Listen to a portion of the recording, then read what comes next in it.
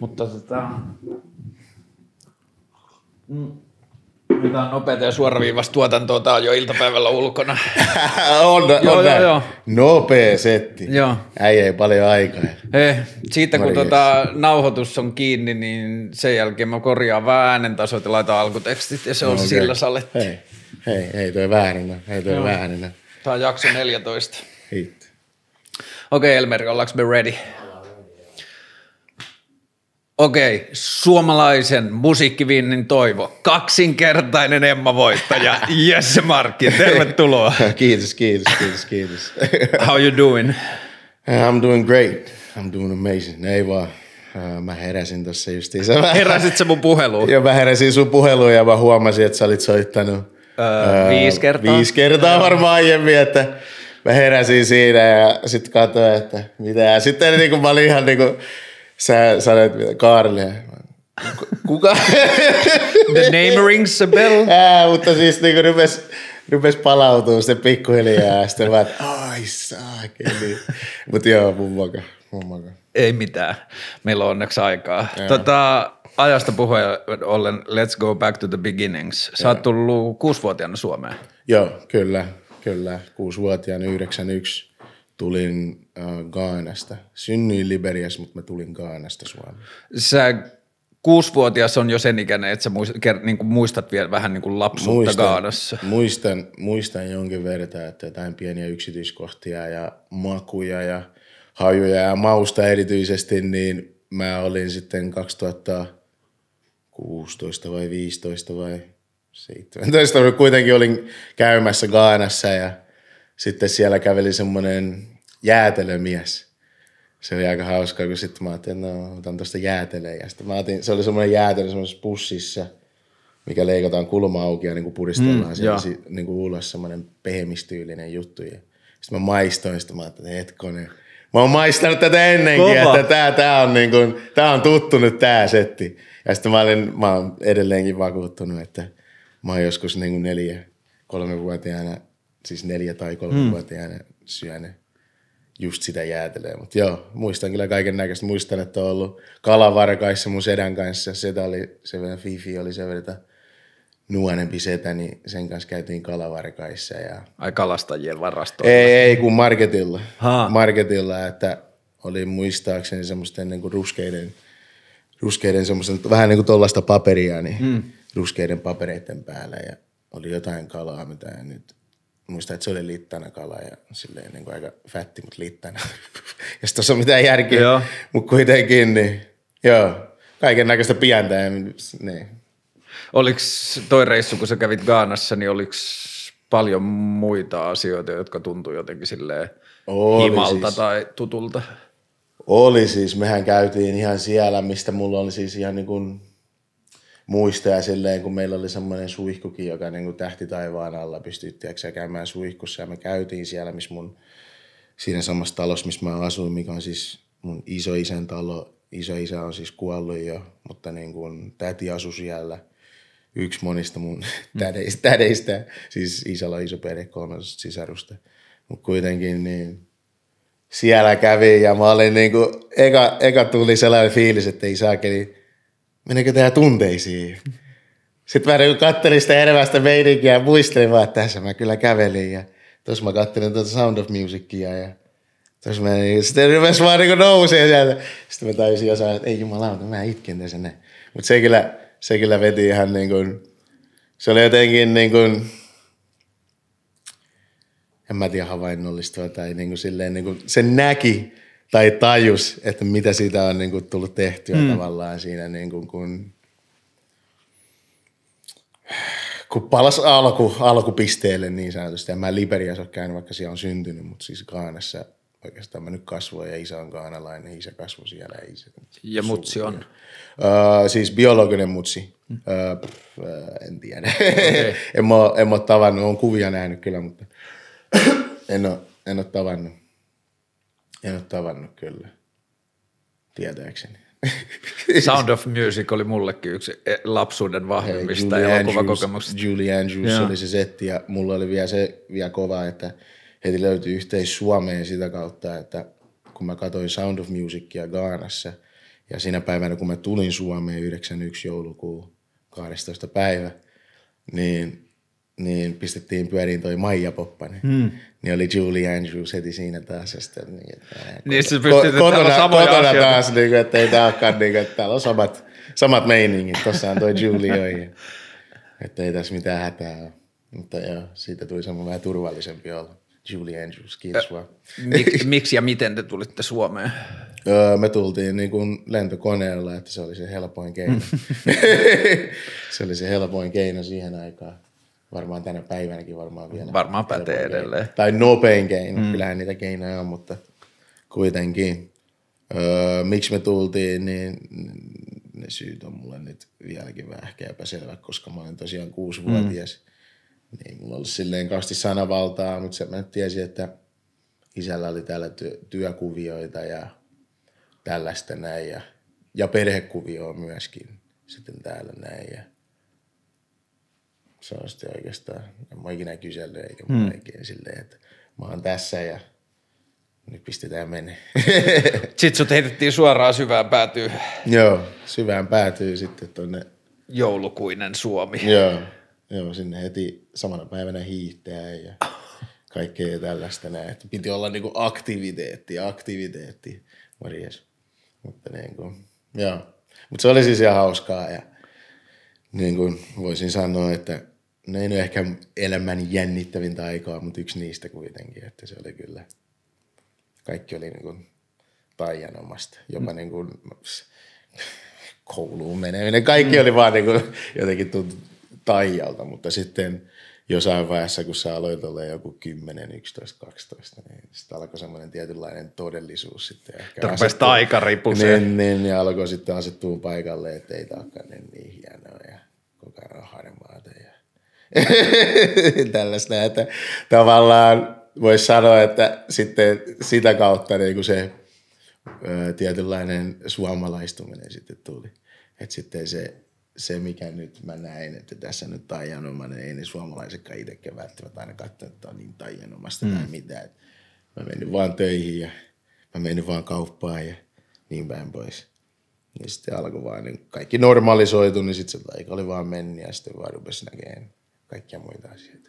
Oliko sulla tota, ennen räppäämistä ja musiikkia jotain muita niin kuin Suomessa löytyneitä kouppaamismekanismeja, millä tästä kaikesta tehtiin siedettävämpää? Joo, siis äh, taide, että niin kuin mä piirsin. Hmm. Ja kaikki jotenkin oletti musta nuorena, että mä jotenkin päädyin myös niin kuin piirtämään, että mä tein sarjakuvia ja mä piirsin pari, paikallisille mummuille, tein bisnestä, että mä piirsin Jeesuksen kuvia, tiiäksä, ja kaikkia tämmöisiä no, kysymysjuttuja ja muuta tällaisia. Kävin kaiken maailman taidekursseilla ja koulussa aina vedin ihan maksimipojoja aina taide, taidehommista ja näin. Niin.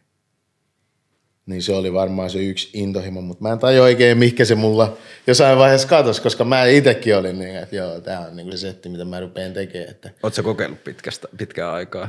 Öö, joo, siis kyllähän mä piirrän vieläkin välillä aina silloin tällainen kaiken näköistä. Mä muistan, että mä piirsin varmaan niin aikuisijällä mä oon eniten piirtänyt armeijassa. Et kun mä olin armeijassa, silloin mä piirsin koko ajan.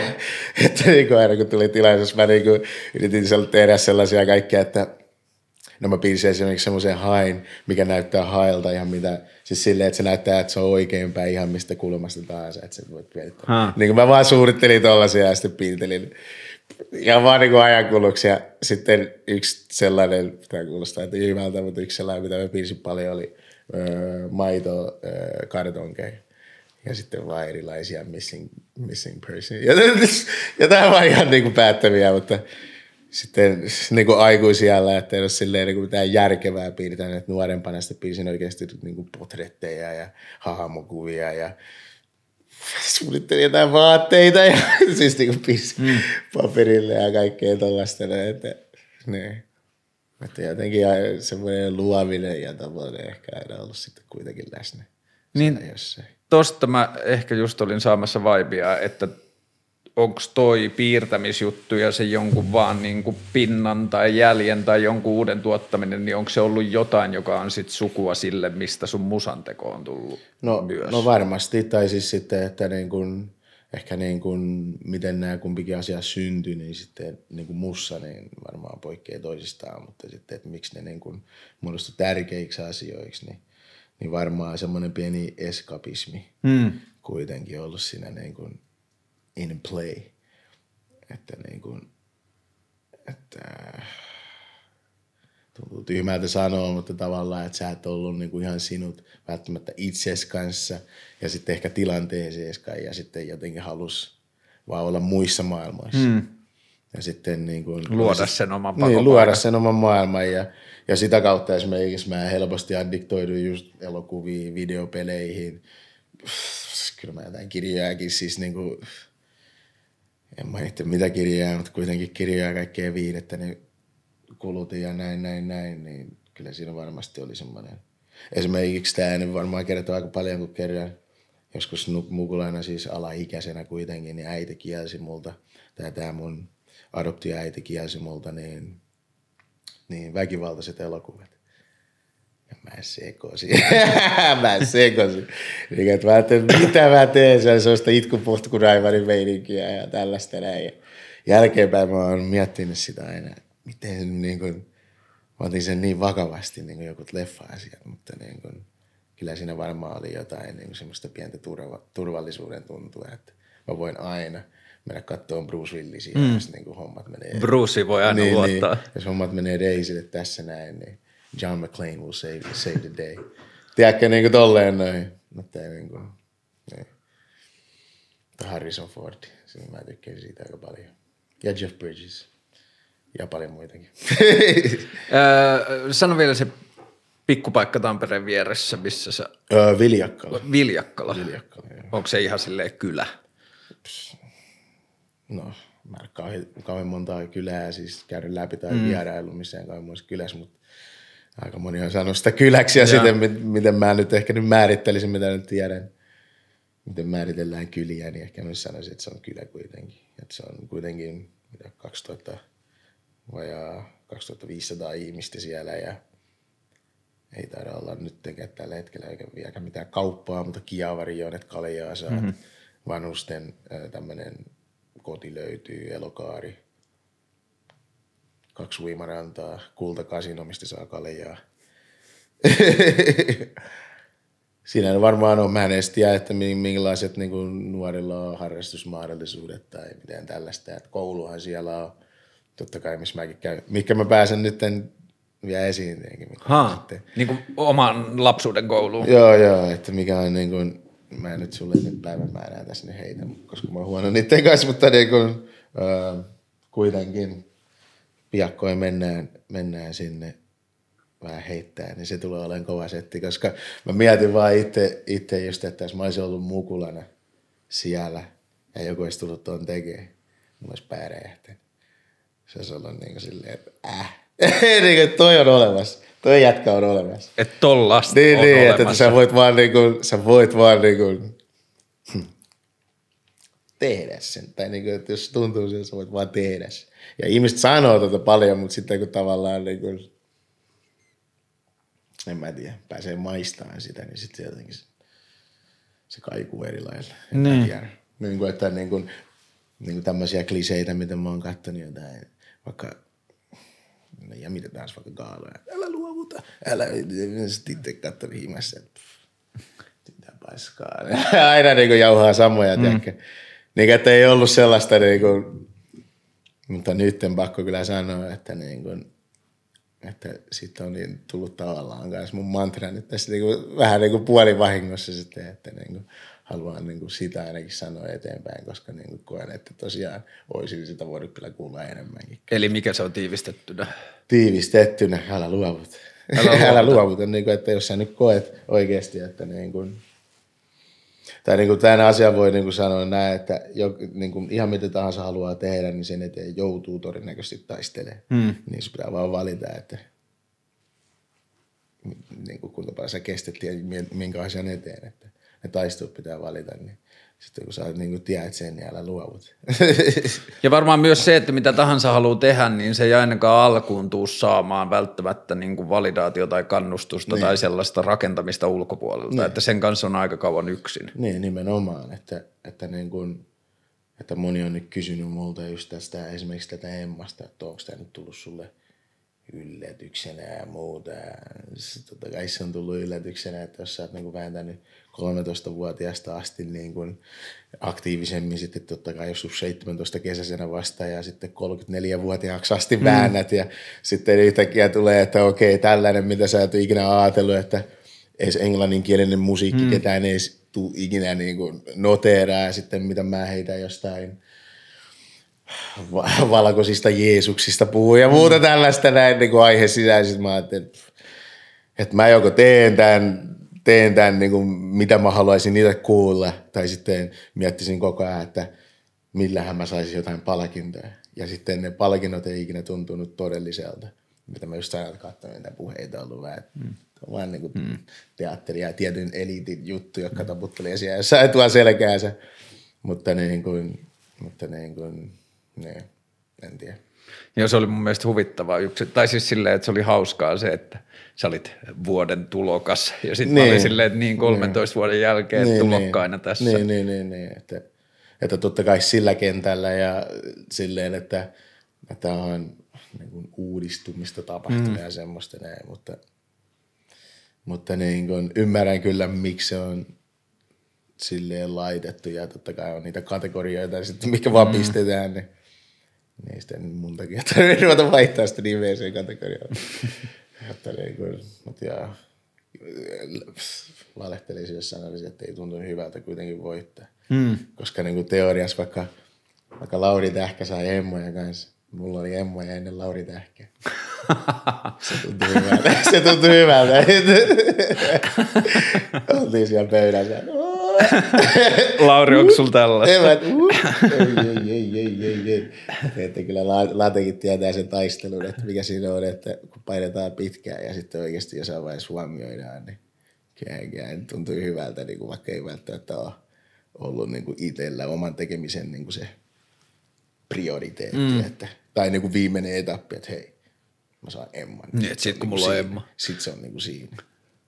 En tiedä, onko, onko onko niin kellään? Tai voiko sä edes luoda mitään niin sanottua, käytän sanaa taidetta, niin kuin palkinnot mielessä. Mm. Niin, että hei, hitto, mä kirjoitan kirjaa, että toivottavasti mä voitan tämän jonkun, tiedätkö sä? Finlandia palkinto. niin, niin. Mm. Nyt mä otan näitä kuvia vaan, että mä saan palkinto. Mä jotenkin, mulla alkaa vahvistua se kela, että mitä enemmän sä määräät itsellesi jonkun tavoitteeksi, niin sitä pienempi todennäköisyys sulla on saavuttaa se.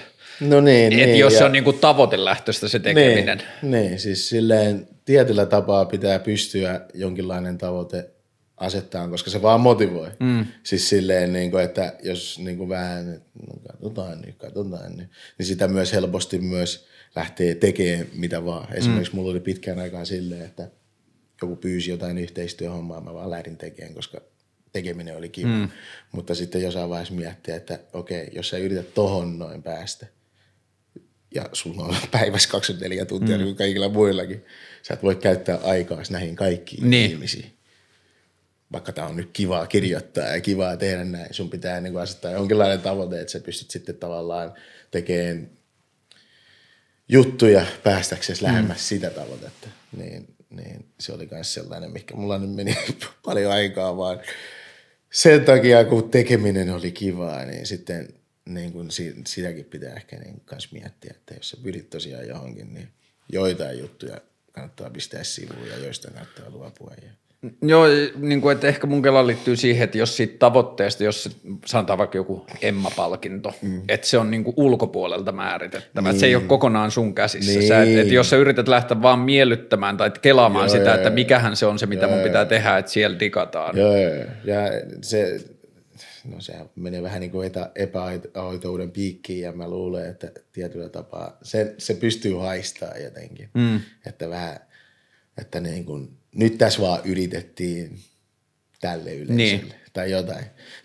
Ei, ei välttämättä aina, että on paljon esimerkiksi niin kuin Green Book oli mun mielestä yksi sellainen leffa, mikä oli niin kuin täysin sellainen, niin kuin, että niin kuin oikea tarina, mutta miten se niin kuin tavallaan kirjoitettiin ja se tarinan kerronta, Hmm. Oli vähän just silleen, että niin kuin, vähän kosiskeltiin ja Oskarihan sieltä tulikin vielä. Niin. Kun mä katsoinkin sitä, mä, mulla oli vähän sellainen fiilis, että tässä vähän niin kuin, Ai, nyt vähän haetaan. tässä vähän nyt haetaan nyt kyllä, että nyt on tää taas valkoinen pelastaja-asetelma ja 60-luku ja vähän draamaa ja vähän syvää Amerikkaa ja vähän niin kuin rotujen välistä ja sitten ystävyys voittaa ja bla bla bla. Ja sitten mä olin, mm, tämä on periaatteessa ihan jees leffa, mutta ei tämä nyt vuoden paras ollut. Mm. Mutta totta kai nämä on mielipide- ja tunneasioita. Mutta joo, feikin kyllä niin kuin haistaa. Et kyllä mä väittäisin, että se haistaa, että jos joku nyt tulee kans ja räppimaailmassa on kanssa aika helppo niin kuin myös langeta siihen feikkiin hommaan ja sitä kuulee aika paljonkin, kun joku, oliko joku Suomi, Suomi-artistikin vähän aikaisesti just puhui jotain niin kuin mi, miljoon, millin niin kuin keikkapalkkioista ja jotain muista tällaisista ja sitten niin kuin vaan, että joo, kai se sitten on vaan näin. niin kuin, että sen, kyllä sen vaan tietää, että ihmiset vaan niin joskus puhuu. Mutta se voi olla osa myös sitä viidettäkin. Kuka oli se räppäri 13-vuotiaana, jota kuunnellessa olit silleen, että mä haluan tehdä tätä? Hei, hei, hei, hei, hei. Niitä oli paljon, mutta yksi, yksi kovimpia oli Mos Def. Mm. Mos Def, koska niin kuin, uh, Black on both sides. Black on both sides, uh. joka ikinen biisi. Joka ikinen biisi niin kuin herätti sellaista niin kuin, miten mä sen kuvailisin, blown away, blown away. Mä muistan joskus 16-17-vuotiaana umisees ja niin kuin, mä oon ollut silleen pikkukaupungin valkoinen poika Pohjois-Suomesta, mutta se on ollut niin kuin sen luuppaaminen ja kuuntelu on ollut mulle ensimmäisiä semmoisia, että okei, että mä ymmärrän, mm-hmm. niin kuin, että mä saan jollakin tavalla kiinni, mistä tässä rotukeskustelussa on kysymys mm-hmm. tai ihmisten kokemuskeskustelussa. Mm-hmm. Ja se, että kun se vaan jatkaa ja jatkaa yeah, sitä luuppia, yeah, all yeah, black people to yeah, be free, ja yeah, sitten se jatkaa ja jatkaa. Ja se, oli se, niin, se on niin kuin se on vahva levy muutenkin, koska ja jos mä mietin, että kuinka paljon se on ollut edellä aikaansa. Mm. Siis silleen, että sillä samalla levyllä esimerkiksi se, se rock and roll, like, mm. like Joo. uh, Elvis Presley rock and roll. Mm. Elvis Presley ain't got no soul. Joo. Ja Little Richard is rock and roll. Sitten mä ajattelin, että joo, kuka tää on tää jäbä? Elvis Presley ain't got no soul. Ja sitten niin kuin tavallaan se maailma, mistä mä tuun, kaikki oli vaan, että Elvis Presley sitä ja tätä ja tätä. Tämä jäbä näkee tämän asian ihan erilainen. Mä haluan kuulla lisää. Eikä niin kuin ollut vielä siinä vaiheessa, että mä oon samaa mieltä. Se tuli myöhemmin. Mutta niin kuin, että niin kuin, siinä oli paljon sellaista, että se oli fiksu. Se oli mun mielestä cool. Ja varmaan niin kuin monella muutenkin, että jos sä ihailet jotain, niin jollain tasolla sen täytyy olla cool. Mm niin kuin, ei välttämättä komeikaan. Tällä, en tarkoita mm. sitä, vaan ka, siinä on joku semmoinen karisma, joku semmoinen magneetti ja Mos Defillä oli se, se, se vähän sössötti, se, se puhuu epäselvästi. Ja mä väittäisin, että mulla on vahingossa ehkä tarttunut se, kun mulla mä vähän jotenkin pääs, joskus menee muminan puolelle, mutta niin kuin se puhuu myös vähän silleen. Mutta niin kuin, että joo, mikä Respiration, mä kuulin Astronomy, Eight Light uh, tuossa uh, Black Starissa. Joo. Ja sitten vielä oli isompi yhteys kuin tietenkin Gaanalainen ja Gaanassa on se Black Star, tiedätkö Ja koko se talikuali ja Soundbombing ja Rokus ja, ja, ja kaikki tämä. Joo. Pheromonsit tulee sinne ja Commonit tulee sinne, Black Dog, siis Roots. Rootsit. Kaikki tulee sinne, niin kuin, että huh huh. Ja Eminemikin oli jossain vaiheessa toi Rokus, Rokus niin oli, Soundbombing joo. hommissa ja veti ton LP ja näiden kanssa. Mm. silloin oli vähän eri meininki silloin ja se niin kun, joo, mä rikkasin niistä meiningeistä hyvinkin paljon. Koska se hänen, hänen räppinsä ei kuulostanut englannilta, koska se kuulosti, kun ne kaikki sanat oli vaan sulautunut yhteen, mm. niin sitten se oli vaan, että sä havaittit jotain sieltä täältä, niin se kuulosti tosi mielenkiintoiselta. Ja halusi vaan tietää, että miten ton voi tehdä. Mutta niin kuin, joo. Mostef ehdottomasti top tier sitten niin kuin Naas varmasti siellä. Mutta mus, ei, ei, kyllä se on siis niin kuin, Naas oli kova, Naas on niin kuin ehdottomasti half man, half amazing mm. ja näin päin pois. Mutta niin kuin Mos Def, se niin kuin puhutteli mua ihan niin kuin, niin kuin, että kaikin tavoin siis. Että jos niinku puhutaan, että niinku mukula, että mä haluaisin olla toi jäbä, niin se, se oli varmaan se mm. jäbä, Mos Def. Joo, ja kun Mos Def, siinä oli alusta asti nähtävissä se, että kuinka hyvä se oli räppää, että kuinka se selkeästi tuli räpin kautta, mutta että just se musikaalisuus. Niin, ja sitten se semmoinen vähän niin kuin, en mä halua sanoa indie, mutta joku semmoinen kulma siihen koko tekemiseen. Äkkiväärä. Niin, äk- äkkiväärä on hyvä, joo, niin kuin omankuuloinen Vinksahtanut. ääni. Joo, joo onhan se siis niin kuin, se on niin kuin, niin kuin heti havaittavissa, että on ihan oma persoonansa tämä tyyppi. Sä näet sen esiintyinkin, sä tiedät mm. heti, että tämä on niin kuin ihan oma tyyppi, koska mä näin se esimerkiksi keikalla aikoina niin, niin Helsingissä, niin sehän kanssa tanssi siellä vaan niin jotain, niin kuin, äh, olikohan se joku äh, samba, samba juttu tai joku tällainen bossanova juttu tai jotain, mutta se tanssi siellä 15 minuuttia. Teki omaa juttua, sitten mä ajattelin, niin kuin, että no tää ei ollut tää, mitä mä tulin katsomaan, mistä mä maksoin, mutta mä oikeasti ihailen tota jäbää, että se vaan tekee, mitä se haluaa. Niin kuin, että, ja me ollaan täällä niin kuin nämä pässit narun päässä, että me vaan katsotaan, kun ja nyt tuli vaan toi. Ja tekee juttua. Niin kuin, se on huikea sitten. No menikö sun pää sit kokonaan vaan rappiin sit tuleviksi? Ei, ei, ei, ei, ei, ei, ei. Ja Mustef oli just siinä se yksi tekijä, että se ei ollut, mä tajusin, että kun mä olin paljon kuunnellut räppiä mm. jo niin kuin ennen Mustefia, eli päätöseen, ja ne oli räppäreitä, räppäreitä, mm. Mob Deep ja Nas ja mm. näin, näin. Mutta Musteffi sai mut tajua ja pakko myös mainita, koska ei voi yhtään niin kuin jättää varjoa, Lauren Hill. Mm. Nämä niin kuin oli kaksi tällaista tällä, jotka niin kuin herätti muussa sellaisen, että se on vielä kuulimpaa, kun nämä pystyy tekemään kaikki. Kato, mitä tuo ylhäällä on. Fuji, score. Siellä on mun poikani piirtämä versio tuosta levyn kannesta, kun se tiesi, Kova. että kuinka iso juttu se oli mulle, niin se oli koulussa kuvistunnilla piirtänyt sen Kova, kova, kova, kova. Ja hei, kova. kaikille Lauren Hill fanieksi tiedoksi. Silloin on tullut viime vuonna uusi biisi, josta mä en tiennyt, Guarding the Gates. Ihan vitun kaunis. Onko mä kuullut? En ole kuullut. Se Oliko on se, tullut- joku leffan leffa soundtrack? mä sitten kuullut, Joo, ihan tosi Joo, siisti. Joo, on mä sitten kuullut. Joo, toi levy ja niinku, joo, ehdottomasti Lauren, Joo. Mutta sitten myös se koko tapa, miten ne lähesty musikaalisuutta. Niin. Niin. se koko levy siinä oli niinku se, että siinä uskallettiin. Mä oon digannut Wyclefistä enemmän, kuin siitä Joo, on joo. vähän niinku saanut digata. Jotain siis mä, mä, oon, mä oon digannut oikeastaan niistä kaikista, Joo. koska ne kaikki toi pöytään jotain uniikkia mm. samaan aikaan, että se oli hemmetin hyvä kombo, se Fuji. Se. Niin oli. Ja en pyst- pistäisi yhtään baaksen, jos se tulisi takaisin sitä Joo. tärättäisi joku kova, mutta niin kun, mä muistan Fujisista joskus aikoinaan, mä loukkaan jonkun, tiedätkö siinä Lauren Hill joskus laulaa, missä biisi oli, I've seen fire, I've seen rain, näin päin pois. Ja mä muistan, mä olin joskus niin kuin isän kanssa siinä ja mä lauloin sitä. Sitten se rupesi jotain nauraa, että mitä säkin nyt oot mukaan nähnyt. Ja se jotenkin, mulla meni se jotenkin, en mä tiedä miksi se meni niin tunteisiin, mutta toi, toi, toi jostain syystä mä muistan, että älä tuu dissaa Lorenin lyriikkaa tähän näin. Hää, sä et tiedä mistä sä puhut. mutta se, niin, se meni mulla tunteisiin, että hei, se on nähnyt, tiedätkö, se sateen, se on nähnyt tuleen, se on nähnyt kaikki. Tiedätkö, älä tuu, älä tuu kyseenalaista. Mutta joo, D'Angelo eka levy. D'Angelota mä en koskaan oikein kuunnellut, pakko myöntää. Mä en ollut niin soul R&B. Mä olin soul jäbä, mutta mä olin vanhan kun, mm. kun uh, toi, niin kuin vanhan soundin soul ja Montclairs ja uh, Delphonics ja tämmöistä mm. näin. Niin kuin kunnon, semmoista se on. D'Angelo's oli hyvä, mutta se jotenkin, se niin kuin, uh, tuntuu, että että se pyörii enemmän sillä sen niin kuin seksi ja seksuaalisuuden Niin. ympärillä ja mm. näin. Ja, ja, ja niin kuin, ää, jotenkin se ei vaan niin kuin sit samalla lailla niin kuin avannut mulle tätä maailmaa versus sitten, että joku, joka puhuu sitten niin kuin jostain poliittisista vangeista mm. tai jotain. Että se tunt,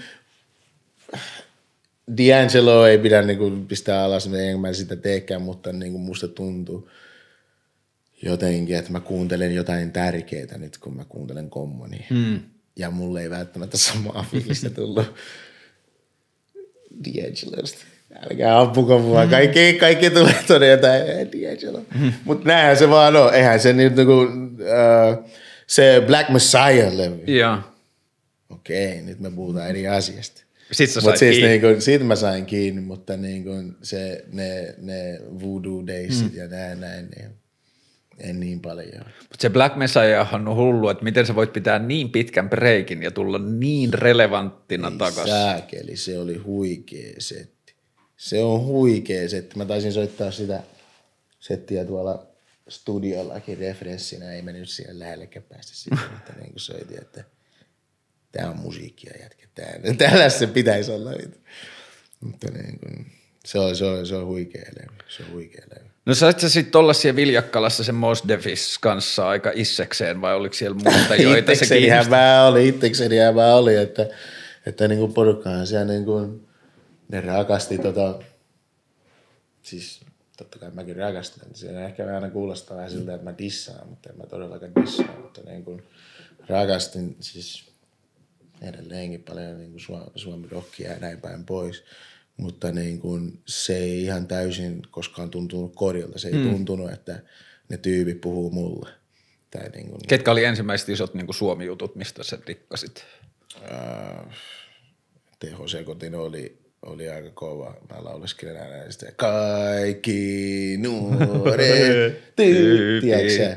Sitten mä ajattelin, että hei, tuo, tuo on totta. Mm. tuo on totta. Mä oon nuori tyyppi ja mä haluan olla sekaisin.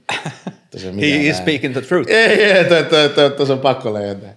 Mutta ei, dikkasi siitä Apulanta, mikä se on se, mikä kaivon kannella yksisteen. Se oli mun itkubiisi, tiedätkö itkupotkuraivari. Oliko tämä ehjälevy vai se sitä seuraa? Siis se pääkallolevy, missä on se niin pääkallo. Ne kaikki oli biisit jotain numeroita. Oliko tämä joku Aa, 001? Joo, joo, joo, joo, joo, joo, Se on ollut niiden toka tai kolmas levy. Mä en muista yhtään mikä vuosi tämä on, mutta muistan, että luukutin perkele niin kuin pirusti. Mutta, niin kuin, mutta niin kuin, siis mä en silloin, siihen aikaan katsonut niin kuin musiikkia kansalaisuuden mukaan mm. silleen, niin kuin, että nyt kuuntelen, nyt haen suomalaista tai sitä tälleen, että mulla oli jotain kanavia, mitä mä kulutin, että mulla oli esimerkiksi Viva tämmöinen, tai mulla, meidän perheellä oli tämmöinen satelliittisetti, niin tämmöinen Viva saksalainen kanava, kanava, niin tuli paljon saksalaista räppiä ja Joy Denelain ja äh, tämä Absolute Beginner ja kaikkea tällaista. Ja tämä mun äiti sitten niin kuin, äh, osasi myös saksaa, opetti myös saksaa koulussa, niin, niin sitten aina joskus käänsi mulle jotain niitä lyriikoita ja näin päin pois. Mutta niin kuin, että mulla oli ihan sama, mistä se tuli. Jos se kuulosti hyvältä, se kuului Science Supercrew Ranskasta. Mm. Kuuntelin sitäkin näin päin pois, mutta, niin kuin, että, mutta englanti oli sitten semmoinen, mitä oli mun helpoin ymmärtää. Ja sitten vaan jotenkin niin kuin. Mistä sun englannin kielen skillsit tuli? Oot sä kasvanut ympäristössä, jossa on ollut ihmisiä, kenen kanssa no, puhutaan englantia? No, tai... no tämän mä ainakin haluan ainakin antaa itselleni pisteitä siinä mielessä, että koska niin kuin, äh, mun isä totta kai gaanalainen, mm ja miten perhe, perheessä sitä puhutaan, niin puhutaan hänen kanssaan, puhutaan englantia kyllä. Mutta sitten, niin kuin, että se, miten mä puhun ja miten hän puhuu, niin ero varmastikin niin kuin, siis silleen, että, että niin kuin, miten se sanoisi. Öö, hän kuulostaa siltä, että hän on öö, ehkä enemmän Gaanasta kuin minä. Mm. Siis silleen, että mä ehkä kuulostan vahingossa silleen, niin kuin, että mä enemmän jostain Amerikasta. Niin, kyllä sulla on kun, tosi amerikkalainen että, että sitten sitä kautta niin kuin itselleni pisteitä, että mä oon tämän opetellut itse. Mm. Mutta niin kuin, että, että kuusivuotiaana sä tuut Suomeen ja mun sanavarastossa ei häppäisempi kuin kellään muu. Niin. Mun piti mennä kouluun hyvin nopeasti, niin mulle vaan opetettiin Suomeen ja tälleen näin, niin tavallaan joku muussa sitten niin kuin lähti niin kuin vaan hakee. Muistatko suomen oppimista tai opettelua? Muista, Onni ja Enni kirja. Onni ja Enni ja käytiin läpi, tiedätkö, ja sitten, sitten vaan niin kuin äiti, äiti, äitihän sitä niin kuin hoiti mulle. Että niin kuin himassa vaan se opetti ja vuoden sisään mun piti mennä kouluun ja se me se tehtiin. Ja vuodessa sitten niin kuin, pamautin, pamautin sen verran, että pystyn käymään kouluun. Niin kuin se on super kiinnostavaa, että mitä ihmisen aivoissa tapahtuu vanhetessaan, kun se kielen oppiminen mm. esimerkiksi vaikeutuu, kun junnut pystyy niin ihmeellisellä niin. tavalla ottaa sen niin. sisään. Ja mä en oikein tajua, että mikä siinä oli, mutta ainakin nyt jälkeenpäin, mitä on niin äiti sanonutkin, että mulla oli hirveä niin kuin oppimisen halu tai niin kuin semmoinen mielenkiinto hmm. niin kuin kaikkeen. Motivaatio. Motivaatio, mikä nyt tuntuu aika hassulta. Mm. Että mielenkiinto ja kaikkea aika rajallinen mm. on kyllä nyt.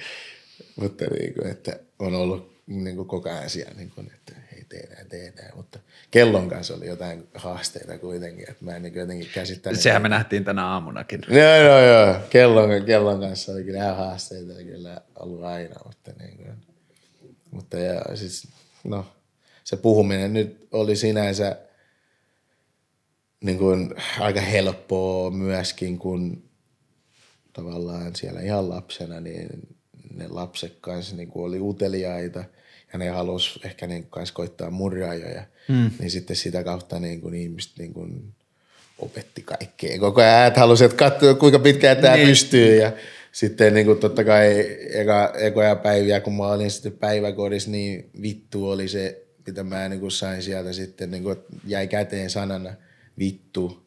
Ja sitten joku toinen, en muista oliko perkele tai joku tällainen, mutta meni himaan ylpeänä sitten äitelle, että niin nyt, nyt, nyt, nyt, tiedätkö, nyt on sana, vittu. Äiti ei tykännyt. Mutta, joo. mutta äiti on joskus aikoinaan siis ei sitä ei tarvitse mun kerran tämä, mutta se pesi kerran niin oikeasti niin tuolla. Saippualla. saippualla, pala saippualla veti vielä. Sääkeli. Se on jännää, miten lapsi haistaa kirrosanojen takana olevan energian, että ne jää No joo, joo, tai siis mä en ajatellut, että se on paha, mutta se jotenkin tuntuu mm, niin kuin... Mm. Sä... With the punch. Niin, niin. Vittu. mutta joo, silloin tajusin, että ei tätä voi ihan sanoa kelle vaan. Mutta joo, kuitenkin sä tulit kuusivuotiaana tänne, sitten menit kevääksi eskariin ja sitten syksyllä kouluun.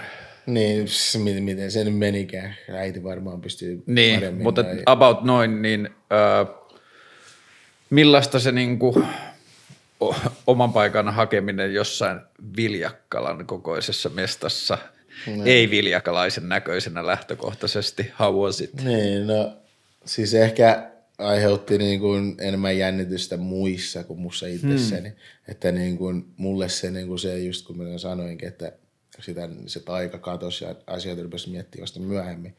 Kouluun meneminen, mä olin niin kuin, että muita mun pituisia ja niin kuin, että ja mä kyllä sain ekana päivänä heti turpaani, mutta niin kuin, se oli ihan mun oma syy, koska, koska niin kuin, siellä oli yksi Timolle vaan terveisiä, tiedät hyvin kuka on. Mutta kuitenkin niin, niin mä haukuin sitä siinä, mä olin ykkösluokalla, hän oli kakkosluokalla ja mä haukuin sitä, ää sä oot mua lyhyempi, vaikka sä oot mua vanhempi. Ja se ei tykännyt siitä ja löi mua nenää ja sitten tuli vähän verta, niin totta kai kaikki ajatteli, että tämä on nyt joku tilanne, joku, mm. joku ruudullinen juttu, mutta ei todellakaan ollut eikä mitään tällaista. Se, se oli vaan se, että sä olit kusipää. Joo, joo, mä olen kusipää ja, ja, ja se selvitettiin siinä, mutta – mutta joo, niin kuin, se, oli, se oli hieno, hieno aikaa ja sitten vielä mulla oli vielä kissa Pepsi vielä silloin. Pepsi? Niin, Pepsi, joo, mä sain sen nimeltä, niin Pepsi oli aina oikein nimi kissalle. Niin tietenkin kun me asuttiin koulun lähellä ja me oltiin läheisiä Pepsin kanssa, niin Pepsi seurasi mua aina kouluun, tiedätkö, sinne ala-asteelle. Ja sitten niin kun mä menin tunnille, se pyöri jossain siellä mettissä ja välitunnille tultiin, niin sitten Pepsi tuli jostain taas ja kaikkea tää Pepsiä ja muuta. Mutta se oli ihan hauska, mutta sitten jossain vaiheessa sekin kasvoi ja senkin varmaan taika loppui. Ja sitten kyllästyi siihen ja rupesi pyöriä muissa, niin kuin jossain navetoissa ja muissa rupesi pyöriä. Mutta, mutta joo, se oli niin kuin, hie, niin kuin taianomasta aikaa se ykkös, ykkös, ykkösluokka varsinkin.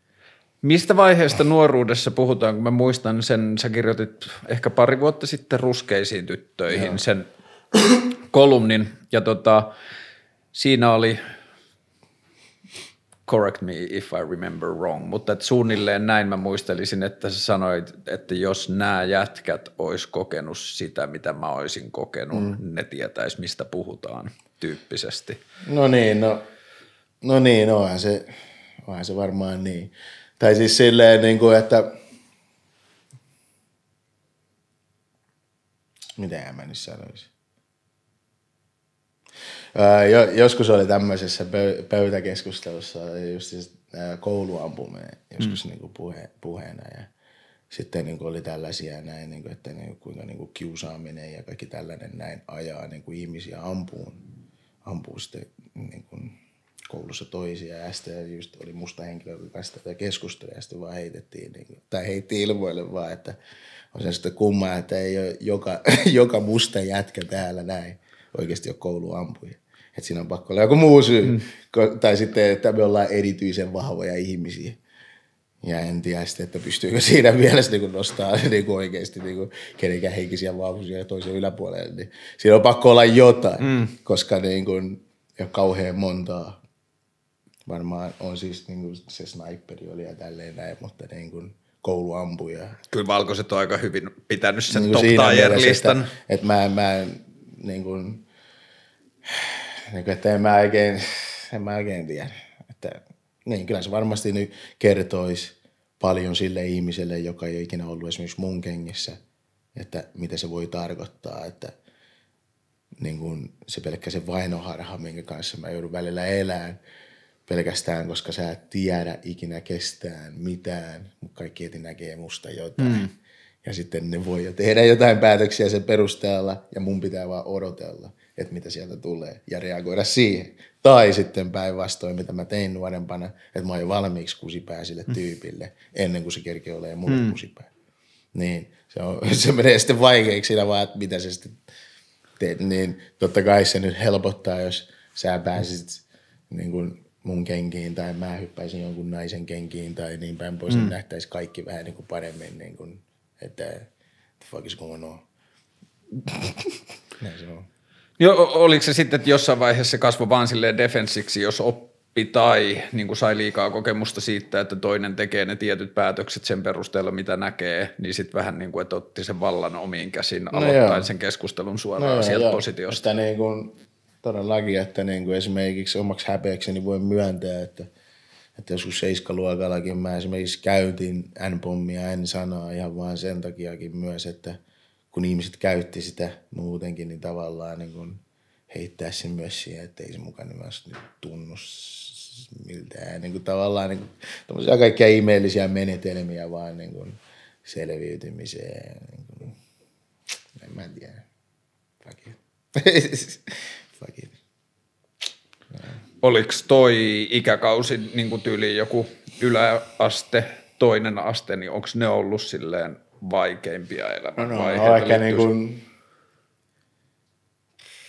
no, voisi sanoa, että ne oli aika raskasti, raskasti siinä mielessä, että ei niin kuin, että jos niin kuin nuorempana kaikki kiinnosti, niin siinä vaiheessa tuntui, että ei mikään kiinnosta, että niin kuin halus vaan niin kuin sanoisi silleen nätisti. Ei tarvi sanoa nätisti, tämä ei ole koko et perheohjelma. Että et, et kaikki loppuisi. Niin hmm. Silleen, niin kuin, että, että niin, miksi mä tulisin tänne ensi viikolla. Tai niin, miksi mä tulisin hmm. tänne huomenna. Miksi mä niin kuin, tulin, olisin täällä huomenna. Tai niin kuin täällä, että se meni aika synkäksi sitten jossain vaiheessa. Mutta niin kuin, niin. En mennyt kuitenkaan ampuun ketään näyttelikö musan tekeminen tuossa vaiheessa niin kuin merkittävää? Öö, siis siinä mielessä, että kuuntelin paljon musaa mm. ja, ja kyllähän mä sitten nyt kirjoitinkin ja olihan mulla niin kuin päiväkirjakin, josta niin kuin kanssa sain kuulla aika paljon, että ee. Että jäbille ei saa olla päiväkirja. Sulla on päiväkirja. Ehe. Pojat on kyllä niin vittu tyhmiä. Mutta mulla oli tosiaan päiväkirja. Ja, mutta oli mulla kaiken näköisiä niin mekanismeja, mekanismeja sitten, mitä mä niin käytin. Ja, lef, kaikki. Kääntyykö se missään vaiheessa semmoiseksi laajemmaksi niin kuin rähinäksi tai angstiksi, semmoiseksi niin ongelmanhakuisuusuudeksi? Öö, siis ei, ei mun osalta, että mm. niin kuin, aina mä oon niin kuin ollut se jäbä, joka tavallaan niin kuin, Mä oon puolustautunut kyllä, mutta harvemmin mä oon mitä aloittanut. Paitti sen ykkösluokan jutun, että se on oikeasti rehellisesti tappeluita, mitä mä oon ollut. En ole aloittanut mitään muuta. En ole aloittanut mitään muuta. Et monesti mä vaan kävelin jossain tai tullut paikalle ja sitten ollut niin kuin vaan siinä. Sitten siinä sitten alkoi olenkin justiinsa. Ja mikä taas menee kanssa tuohon, että jos olisi vähän aikaa mun kengissä, kato, kun se oli tuossa Hämeenkyrössä ja muuta. Ja sitten ihmiset meni tietenkin kotipileisiin ja muuta. Ja sitten siinä tuli vähän niin kuin ihmisiäkin, jotka ei ole enää ollut koulussa niin sanotusti. Mm. Aikuisia ihmisiä välillä oli vähän natsiporukkaa ja tällaista näin. Niin sitten aina välillä mä että hei, en mä voi tulla noihin bileisiin. Sitten, mikset? Joo. Niin, että sä et, niin kuin, sä et ole yhtään nähnyt, mitä täällä on tapahtunut koko aikana, mitä mä oon ollut vai? Niin, että siinä oli tosiaan vähän semmoinen, että hei, mä käsittelen tämän yksin. En mä oikein millekään äitille voinut tuota selvittää, mitä se tekee. Siinä vaiheessa ne oli jo eronnut isän kanssa sisään ja asunut siellä. Ja mä olin meidän koulussa ensimmäinen musta äijäkin, joka on koskaan ollut siellä ja muuta tällaista. Näin, niin sitten se on vaan niin kaikki tuli mulle ekaa kertaa. Ja sitten mä sain niin kuin tehdä latua, tiedätkö seuraaville. Mm. Et mä oon saanut aika monessa asiassa nyt olla ensimmäinen, että tehdä latua, latua nyt sitten porukalle, mutta ei se haittaa, ei se haittaa. Minkä ikäisenä sulla oli Suomessa ensimmäiset niin kuin mustat ystävät tai niin kuin silleen oman ikä, tai jollain tavalla verrannaiset? niin kuin oikein ystävät, ystävät, niin varmaan ehkä 17. Että aika vanha. Ei varmaan vanhempi, 18. Tampereen kautta sitten. Joo. Mutta niin kuin aika vanha kuitenkin. Mutta siinäkin enimmäkseen niin kuin, niin kuin, äh, oli niin kuin tuttavuus ihmisiä. Hmm. Koska niin kuin, no, mulla on, mulla on siinä mielessä myös kans niin kuin, äh, muodostunut tietynlaisia periaatteita pikkukylässä kasvaneena ja näin päin pois. Ja sitten tietenkin moni muu afrikkalaistausta ei ole samoja asioita nähnyt ja sitten oli esimerkiksi tämä äänisana, mitä mä vaikka itsekin olin käyttänyt, mutta sitten jossain vaiheessa muodossa sellaisessa asiaksi, mitä mä en pystynyt enää niin kuin, missään vaiheessa oikein niin kuin, edes, niin kuin, edes kunnolla itse niin kuin, siis hyväksykään, että mä olen sitä tehnyt, niin sitten, sitten paljon siinä kaveripiirissä sitten se oli vähän niin kuin semmoinen hellyttelynimi ja muuta tällaista näin. Ja sitten mulle, mulle se ei ole jotenkin, jotenkin, että ideologiat ei sitä kuitenkaan kohdannut, mutta mm. sitten kuitenkin niin kuin kohtas kuitenkin suomalaisen jäbän kanssa, Simon kanssa, jonka kanssa me perustettiin sitten Megaphone State mm. Bandi. Mm. Niin hänen kanssaan se niin kuin oli ihan täysin sitä, koska niin kuin, mä niin kuin näen sen niin kuin ultimaattisena kunnioituksen osoituksena, että, että niin kuin, mulla on ollut paljon kavereita – mitä mä voin silti kutsua kavereiksi niin kuin elämäni aikana, jotka on käyttänyt sitä sanaa. Mutta Simo, Simo on jäbä, joka ei koskaan käyttänyt sitä sanaa. Ei koskaan käyttänyt sitä sanaa ja aina stoppaamassa jätkiä, jotka on käyttänyt sitä sanaa. Ja jotenkin niin kun, sen kun mä näin mukulana, että joku valkoinen jäpä tekee tolleen, hmm. Oliko se Viljakkalasta kanssa? Ei, ei, ei, ei se tuli Sehän on Viialasta. Viialasta, Viialasta, VLA, molemmat. Viljakkala, VLA, VLA Kings. Näin se menee. Että ollaan molemmat kuninkaita, näin. Mm. Mutta niin kuin, tavattiin siis vasta justiinsa äh, Hervannassa. Mutta niin kuin, mutta niin kuin, jotenkin niin kuin, äh, mä olen paljon hyviä ihmisiä tavannut totta kai ympäriinsä, ympäriinsä, mutta niin kuin, mutta hänellä, hänessä oli se joku, joku tekijä, joka oli niin kuin arvokasta pitää lähellä. Saiko se sen suhtautuminen tai toiminta, mm, oliko se esimerkiksi sitten tekijä, joka herätti sua itseäsi siihen sanan käyttöön tai sen niin kuin kulttuuriin vai missä kohtaa sä aloit havahtua siihen, että hetkinen, että tässä on nyt jotain? Öö, siinä vaiheessa, kun tavallaan, kun mä itse sitä käytin tavallaan että mä laimentaisin sit niitä, hmm. niitä efektejä. Mutta se vaikutus oli päinvastainen. Mulla tulee itselle vaan semmoinen niin sell-out feeling hmm. tai semmoinen niin kuin, aikaan en tiedä nyt termiä, mutta tänä päivänä semmoinen termi kuin cooning, hmm. niin semmoinen, niin semmoinen fiilis tuli, niin sitä kautta sitten oli vähän, että miksi mä vittu edes puhuisin itsestä. Oliko siinä jotkut asiat, jotka havahdutti siihen? Siis siihen ajattelin, että niin, näkemään sen, niin, niin just siis mun oma toiminta, mun oma toiminta, siis koska niin kun se, että tosta suunnasta tulee vihaa, se ei ollut niin kun tavallaan, totta kai se nyt kaiveli kans jotenkin kans niin kuin sisällään näin päin pois, mutta se, että mitä mä itse sanon itsestäni hmm. näiden kuulen, Mä en, mä en vaan voinut. niin kuin, että miksi niin kuin, se ei, se ei, se ei palvelu ketään. Se, se, se jotenkin mä tavallaan vahingossa vielä annoin luvan vielä heille niin kuin käyttää sitä enemmän.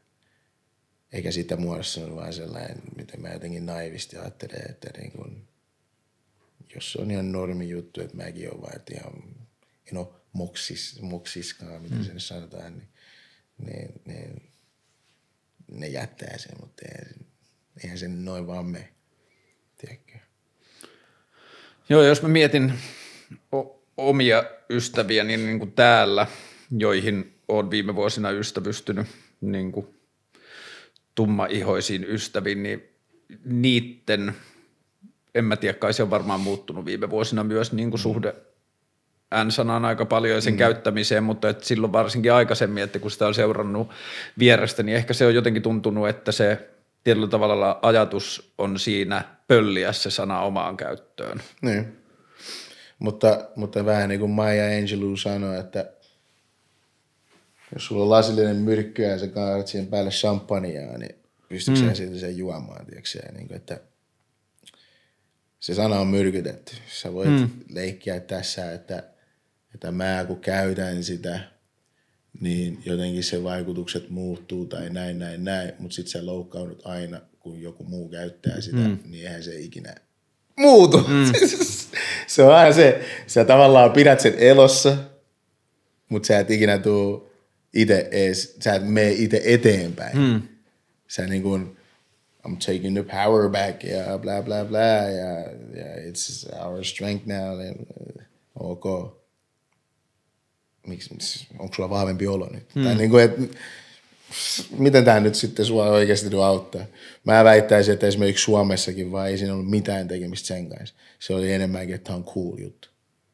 Afrikassakin käytetään sitä nykyään aika aktiivisesti, mitä mä oon käynyt siellä, niin porukka puhuu itsestään silleen. I'm a bad bitch. Mä en, niin, kuin, tiedätkö niin, että ok.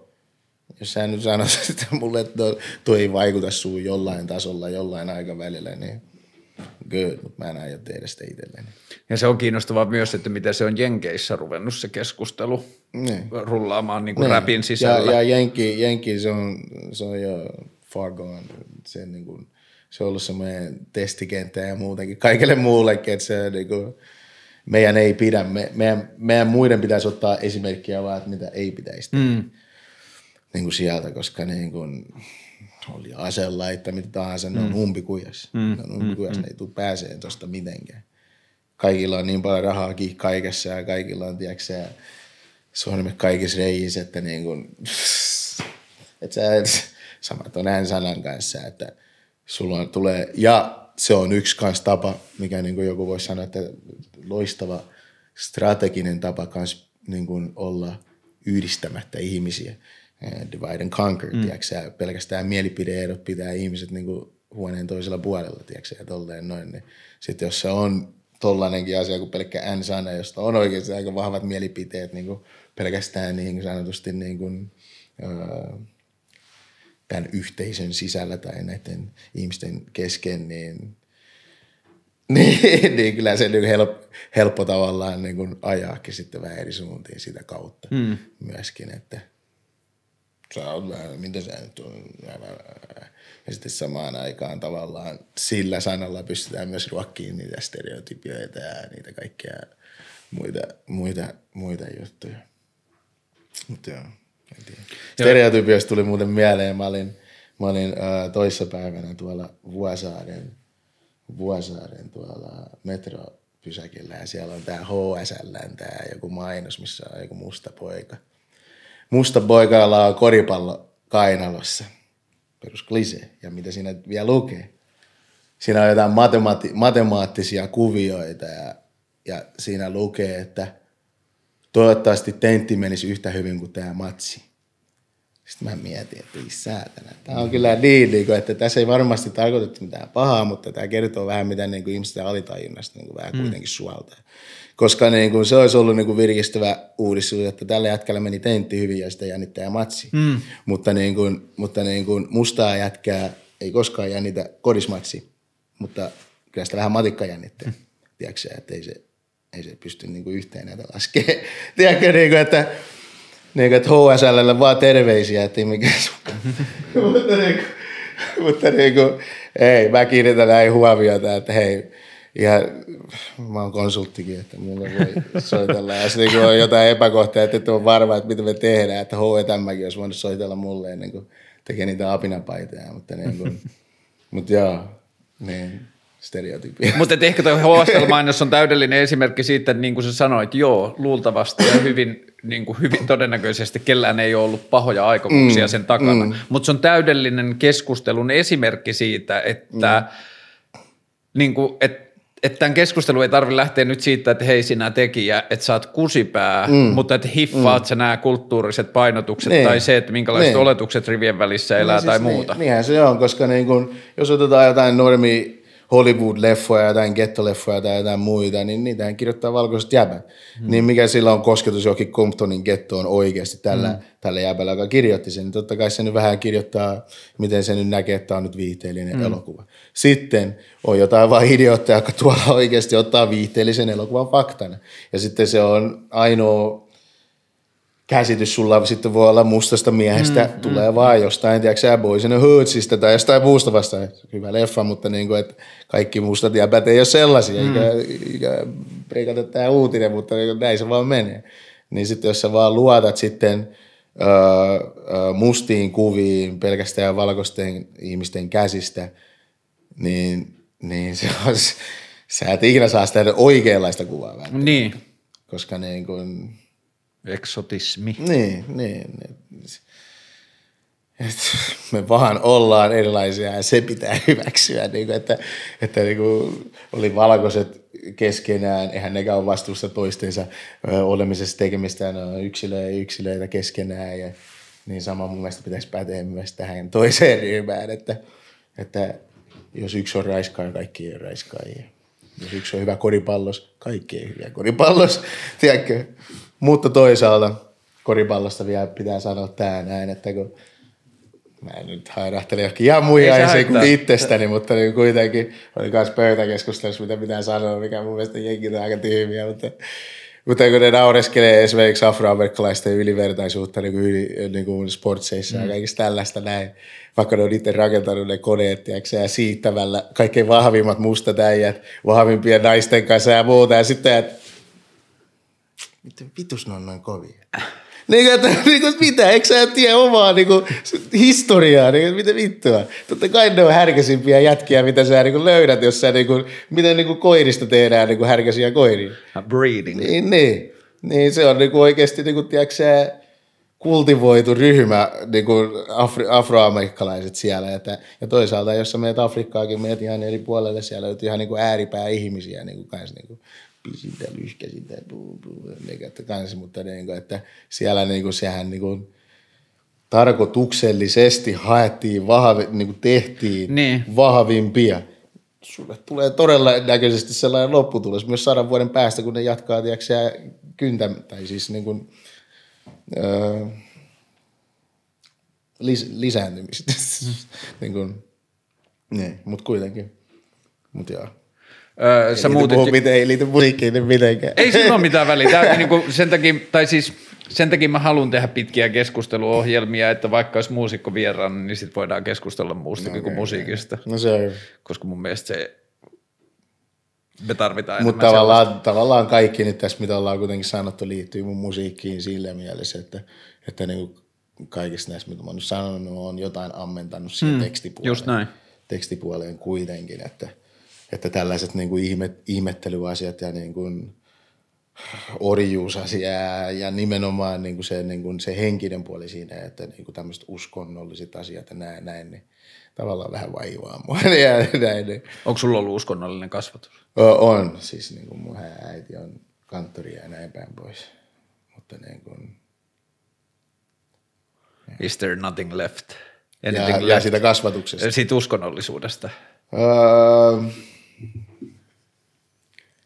Tämä on tää klisee. Mä oon henkinen, oon mutta.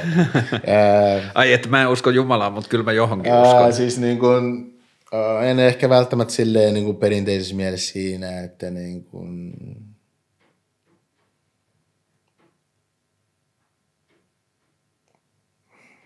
että mä harrastan kuitenkin aika paljon sitä kriittistä ajattelua mm. kuitenkin siinä, siinä joukossa, että se on vaikea. Niin kuin, Se on että, vähän vaikea että, kombo että, että, niin kuin sitä, sitä tuntee jotain, mutta mä en reellisesti sano, että mä oon sillä tavalla nähnyt valon.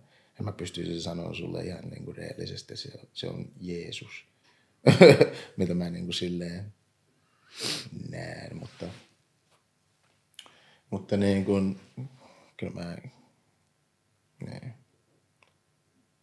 Eikä siis, niinku usko, siis niinku silleen voisi niinku korjata, että niinku mua ei niinku usko, uskomisessa ja uskonnoissa itsessään ei ole vikaa, vaan niinku se, mikä mun kritiikki niinku oikeastaan osuu, on lähinnä ne järjestöt ja rakenteet niiden mm. niinku takana ja kaikki tämmöiset. Ne on vähän niinku sellaisia niinku, tuntuu myös vähän semmoiselta niinku teatterilta. Mun kela on ehkä tiivistynyt siihen, että mä en näe ongelmaa uskossa, mutta kyllä mä melkein uskonnossa näen. Jos yksilöllä on joku ulkopuolinen juttu, mistä sen pitää tsekkaa se, että onko se joku, tai miten joku asia menee. Niin sitä justiinsa, että... Ja, muu, ja muuten siis niin kuin... En mä tiedä, siis... No, tuo on vähän vaikea. Sä viittasit tässä myös siihen valkoinen Je- Jeesus-läppään ja se oli jossain sun haastattelussa, joka on mun mielestä tosi siisti näkökulma siihen läppään, että se on yksi parhaimmista brändäyksistä, mitä länkkärit on onnistunut tekemään. Että ihminen, joka ei millään logiikalla ole valkoihoisen mm. näköinen ihminen 2000 vuotta sitten Persiassa tai jossain Niin. siellä alueella, niin se ei vaan voi olla valkoinen jäbä. No ei, ei, ja siis se on, niin kuin sanottu, loistavaa brändäystä, mutta, niin kuin, mutta niin kuin se on myös yksi sellainen asia, mikä niin kuin aika usein unohtuu ihmisiltä, niin kuin kysyy vaan itseltään, että mihin tätä kaikkea tarvitaan. Niin kuin, mihin rasismia tarvittiin. Mm. Sitten kun se niin kuin vastaus alkaa selviää, niin alkaa helpottua nämä kaikki muutkin asiat, tiedätkö, että, että totta kai se on ollut selviytyminen. Että jos niin kuin, että niin kuin, että jos sä niin kun, ö, pystyt uskottelemaan tälle ihmisryhmälle, että kaikki hyvä, mikä maailmassa on, on esimerkiksi niin kun se, sillä on valkoiset kasvot, mm. niin sun sellainen psykologinen suhtautuminen kaikkeen valkoiseen tulee olemaan erilainen. Ja, ja tänä päivänäkin, ja kuten minä myös, mä mikä pyhimys on, on nostanut valkoisuuden Sä jalosta. et ole pyhimys, kun sä oot Jesse Market. Niin, Pyhimys on niin pyhimys on eri sä- jäbä, se on enemmän emmoinen. Mutta niin kuin, niin kuin, että mäkin olen nostanut jossain määrin niin kuin valkoisuuden myös jalustalle. Että, niin kuin, että niin kuin, siis, si- siis nyt mä tie, tiedostan sen, mutta siis silleen, Millaisilla asioilla? No siis vaikka kauneusihanteet, hmm. esimerkiksi yksinkertainen. Niin kuin, että millainen mielikuva tulee, kun sanotaan, että naapurin tyttö. Hmm. Vaikka, mikä me tuleeko afro heti mieleen, tai tuleeko joku blondi, blondi setti, tiedätkö? Niin kuin, että tiet, tietynlaiset tollaiset noin, niin, niin, no niin, mistä mä puhuin, en mä muista enää. Puhuttiin mustasta Jeesuksesta naapuritytöistä. No niin, no musta se jee. Kai kummallinen setti. Tota, No kuitenkin hyvä brändäys, se on hyvä Niin on.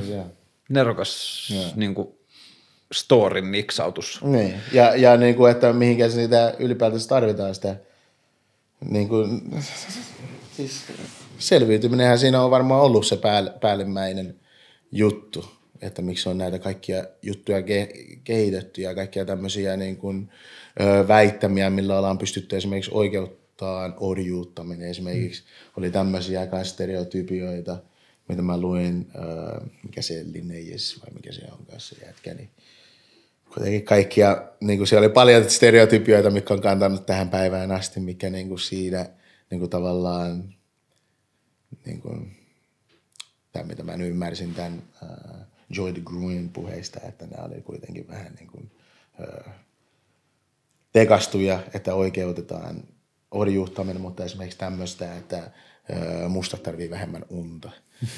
ja kaikkea tällaista. Ja sitten äh, heidän, äh, äh, he ovat seksuaalisesti jotenkin yli, yli jotain tällaisia. Kaikkea tämmöisiä, mikä niin kuin tänä päivänäkin varmasti niin kuin sitten näkyy ja sitten sitä kautta myös varmasti pelottaa, kun jotain puhuu raiskauksia, että ei vaan maada itselleen mitään ja niin päin pois, niin päin pois. Mutta, mutta joo, niin hyvää, hyvää brändäystä ja sillä saadaan niin kuin jopa se, niin kuin, jos on kuullut termin niin kuin internalisoidusta rasismista, mm. niin saadaan nämä mustat tyypitkin myös internalisoimaan niitä ajatuksia, mitä näin, tällä ihmisryhmällä, sanotaan nyt valkoisilla ihmisillä, olisi sitten näistä mustista. Ja sitten ne rupeaa ajattelemaan, että näin se on. Niin, että miten se valtakulttuuri, ja varsinkin kun valtamedia on kaikissa isoissa länsivaltioissa ollut niin. viimeiset sata vuotta valkoisten niin. pyörittämään. Niin. Ja se on itteensä vaikea katsoa, niin että mä oon hyvä myöskin sitten kaiken sen niin sanotusti paskan keskellä, mutta että ehkä mä oonkin sitten. Niin kuin, että, ja varsinkin ehkä lapsena se on niin kuin pahempi. Nyt, nyt se ei niin, niin kuin, mä oon tavallaan niin paljon ollut ilman minkäänlaisia representaatioita, että mä oon löytänyt ne Mosteffin ja näin ja rakentanut sen varaan. Niin nyt tänä päivänä se on sitten vähän eri, mutta niin kuin, jos mä nyt ajattelen vaan niin kuin, muulla niin näkökulmasta, niin kyllä se vaan niin on hemmetin tärkeä mm. asia, että sä saat erilaisia kuvia tavallaan itsestäsi. Joo. Musta tuntuu, että toi representaatioläppä on monille ei-vähemmistön kokemusta kokeneella esimerkiksi valkoiselle Suomessa, niin se on niin kuin asia, joka voi olla hankala ymmärtää, ellei mm. joku sitä selitä auki. Et mitä ne. se tarkoittaa, että millaisissa positioissa ne. sä näet itsesi näköisiä ihmisiä tekemässä minkälaisia ne. asioita. Siis kyllä, kyllähän se varmasti niin kuin on näin, että, että se oli esimerkiksi hauska joskus aikoinaan niin kuin Jenkeissä oli tämmöinen tilanne kuin, niin kuin klubilla ja klubi tänne mustia ei sitten valkoinen nainen kanssa. Siinä sitten meidän, meidän kanssa ja sitten niin kuin, on niin kuin vähän tälleen näin, että niin kuin, äh, siis Suomesta ja sitten se niin kuin on vähän niin kuin, että vähän, kun hän on ainoa valkoinen täällä rupesi, rupesi kummasti niin kuin heti niin kuin ajattelee kaiken näköistä. Sitten niin kuin siinä vaiheessa varmaan hänkin, jos eläisi niin kuin vaikka 20 vuotta siinä ympäristössä, niin se representaatio alkaa niin kuin näkyä vähän eri lailla. Että olisi kiva, mm. Tai siis niin kuin, ei välttämättä siis sille, että olisi kiva, niin kuin vaan jotenkin öö, tulee sellainen olo vaan, että sä et ole vaan yksin. Mm. Siis yksinkertaisuudessa. On varovainen, tuo ääni vähän siirtyy sinne. Sorry. Joo. Mutta joo, ei, se, ei siinä sen kummempia. Öö, minkä ikäisenä Viljakkala alkoi muuttua niin kuin Tampereeksi? Missä kohtaa sä aloisit hengaa enemmän siellä? Ei, siis mä siis kun vaan muutin. Siis koko ajan kun me Viljakkalassa oltiin, niin käytiin, käytiin ryypiskeleen Tampereella. Mm. Et mehän Viljakkalassa aloitettiin aikaisin ryyppää. Että varmaan joskus just 12 kesäisenä vedettiin siellä. Me ostettiin aina parikymmentä litraa sahtia ja vedettiin sitä ja haettiin jotain nakkeja jostain ja vedettiin hirveitä, hirveitä koomia ja mitä kaikkea me siellä vedettiinkään muuta, mutta ihan sama, mutta kuitenkin kaikki nuoret tyypit tahtovat mm. olla sekaisin. Mutta niin kuin, ää, Tampereella muutin kuitenkin sitten koulua varten, että olin mä just 16. Ja... Lukio? ammattikoulu. Am. Siis Hervannan ammattioppilaitokseen, missä mä just, tai Simon tapasi. Tai tämän Simon Sound. Pitää sanoa sitä enemmän. Mä aina sanon mm-hmm. vaan Simo. Kuka ei tiedä, kuka Simo on. Tuliko sinne mennessä sitten myös enemmän niin kuin enemmän itsesi näköisiä ihmisiä ympäristöön? No, no, kyllä niitä ainakin näkyy enemmän, mutta ei nyt samalla lailla, että niin kuin olisin löytänyt vieläkään niin kuin silleen niin kuin varsinaista yhteyttä. Mm. Että niin kuin aina mä oon löytänyt, niin kuin, kun puhutaan sitten niin kuin mustista ihmisistä, niin mä oon löytänyt yhteyden niin kuin mua itseäni reilusti vanhempiin ihmisiin. Niin kuin siis silleen niin kuin aikuisia tyyppejä, mm. vähän niin kuin voisi melkein sanoa, että ei nyt mentoriaameja, mutta semmoisia vähän niin kuin vanhempia tyyppejä. Mm. että niin kuin, jotenkin mun sanoi, mutta että mä saan tästä nyt jotain mm. enemmän irti jotenkin. En mä tiedä. Mutta sitten niin kun ne tyypit, joiden kanssa sitten hengas, niin sitten se oli vaan hauskanpitoa ja sellaista niin kun ehkä tyttöjen jahtaamista mm. ja tällaista näin. Mutta niin. ei mitään semmoista niin kuin syvempää yhteyttä, että keskusteltaisiin mistään kipeästä tai mistään muustakaan. Että, Kokemuksesta. ne, ne, että se on niin kuin semmoista niin kuin, What's up, dude? Yeah. Mm. What's up? Yeah. Yeah. Yeah. niin kuin, tietynlaista niin kuin teatteria myöskin mm. voisi sanoa, että, että niin kuin, ja mä olen hyvä siinä teatterissa, mä olen hyvä siinä teatterissa, ei siinä mitään, että kyllä mä niin kuin, yo, yo, mä en osaan olla, tiedätkö mutta, mutta niin, Mutta se oli varmaan silloin, kun tuli se basso räppilapsuushomma, se on ollut varmaan joskus 2010. sä varmaan muistat paremmin kuin mä. Joo, Siitä tää on, aikaa, niin, nyt puhutaan aikaa. tosi hanchilla, mutta et niinku, sanotaan about 10 vuotta. About, about. Niin, niin se on, mä luulen, että se on ollut myös niin kuin, tosi monelle suomalaiselle myös ensimmäinen kokemus siitä, että okei, että musta jäbä ei puhu niin kuin mä oletan sen puhuvan. Niin. Että sulla tuli se leveä Tampere. No joo, joo, joo, joo. Ja se oli, meininki. Se oli kyllä sellainen setti, mikä oli aika hauska setti. Hauska setti, että siitä tuli jotain, jotain naisiakin paarissa puhua, että ää, mä näin sun näppilapsuuden, että ää, ei siinä mitään, että Tampere, Tampereesta oli vihdoinkin jotain hyötyä, mutta, mutta niin kuin, tai siis murteesta, mutta, mutta joo, kyllä mä sen niin kuin tietää armeijaankin kun menin, niin se oli monelle niin kuin semmoinen ensimmäinen kosketus jollakin mustaan mieheen mm. ja sitten niin kuin tavallaan kaikesta huolimatta huumorin mies on, niin sitten aina naurattelin siellä vaan porukkaa ympäriinsä, niin, niin tavallaan,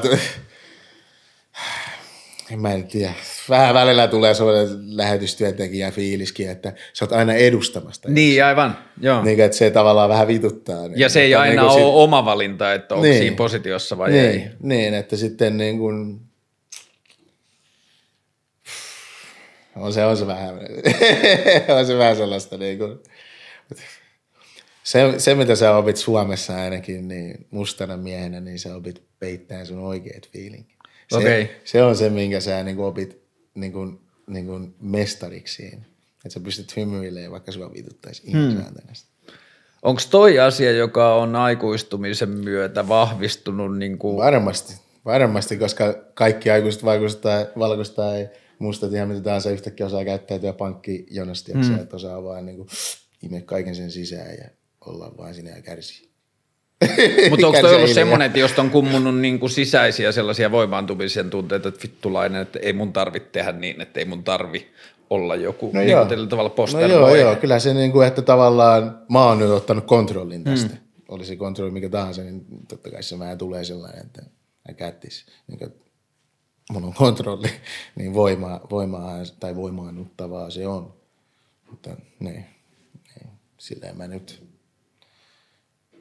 mitä nyt on kasvanut, niin sit enemmän ja enemmän se on tullut. Jossain vaiheessa oli vaan niin kuin, kyllä mä sen myönnän, että kaksikymppisissä, niin se ei ollut itsevarmuutta, vaan semmoista niinku, niinku Suojautumista. Vaan, niin, niin, että se oli vaan silleen, nyt se on vähän niin kuin, mä pystyn artikuloimaan jonkun tilanteen alas tai muuta, niin mua ei niin kuin jännitä edes mennä mihinkään tilanteisiin. Ja se on sellainen itse asiassa, mikä mä oon päässyt vahingossa harjoitteleenkin, koska mä oon päässyt niin kuin hyvinkin äh, uhkaavissa tilanteissa vaan niin kuin päässyt jauhaa ja sitten niin kuin jossain vaiheessa vähän niin kuin heittänyt vähän niin kuin huumoriakin, niin yhtäkkiä niin kuin, mä, mä vihaan noita N-sanoja, mutta sä oot hyvä N-sana, mm. mutta sä oot hyvä. Joo. niin, kuin, että se niin kuin on silleen, niin kuin, mutta joo. Mulla on toi precis sama kokemus lestadiolaisuuden kautta, mm. kun pienessä kaupungissa lestadiolaisuus ei ole ulospäin näkyvä piirre, mutta mm. pienessä kaupungissa se, että sä tuut isosta perheestä, niin, se Niin, niin, niin. niin kertoo Ei sen.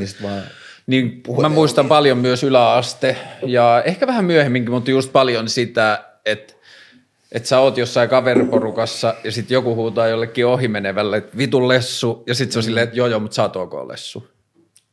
Niin kuin se, että et, et Joo, sä, joo, oot, siis nyt mä, sä oot joo, joo, saavuttanut siis tuo on toi sama, tuo on toi sama tilanne, mutta siis niinku se logiikka siinä, Joo. sillä joka huutaa, niin Joo. se on ihan niinku, niinku, että se on ihan, no mun mielestä mä kirjoitin niinku vähän vastaavanlaiset siihen, siihen esseeseen, siihen ruskeisiin tyttöjen tai jotain, mutta niinku kuitenkin, että niinku, tavallaan sitten vielä kuitenkin, että sä voit käyttää niitä sanoja. Niin, sitten, niin kuin, tai sä voit käyttää että- siihen ihmisryhmään niitä ennakkoluuloita, niitä dissaavia Niin. elementtejä tai jotain muuta, kunhan sä vaan muistat sanoa sille Niin. sun oma friendille, että hei, Niin. mä oon päästänyt sut jo siitä lokerosta ulos, Niin. että sä oot ostanut mun luottamuksen, sä oot ok, vaikka mä dikkaankin dissaa tota ihmisryhmää. Niin, Et se, on, se on jotenkin vähän outo.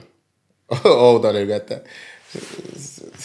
sä oot oikeasti sitä, mitä sä näytät olevasi, mut, tai niin kuin sanot, ole, mm. tai siis niin kuin käy, niin kuin antaa mulle mun tietää, mutta niin kuin sä tavallaan kuitenkin tiedät, että se leima, jos tulee, se on paha, mm. niin sun pitää tavallaan vähän niin kuin ja että se on muuten yksi asia, mikä niin kuin mun mielestä tässä, tänä päivänä on yksi vaarallisimpia asioita, että me ollaan ihmisenä kuitenkin sen verran fiksuja, että me osataan olla tai pitää päämme kiinni, niin kuin olla hiljaa mm. välillä.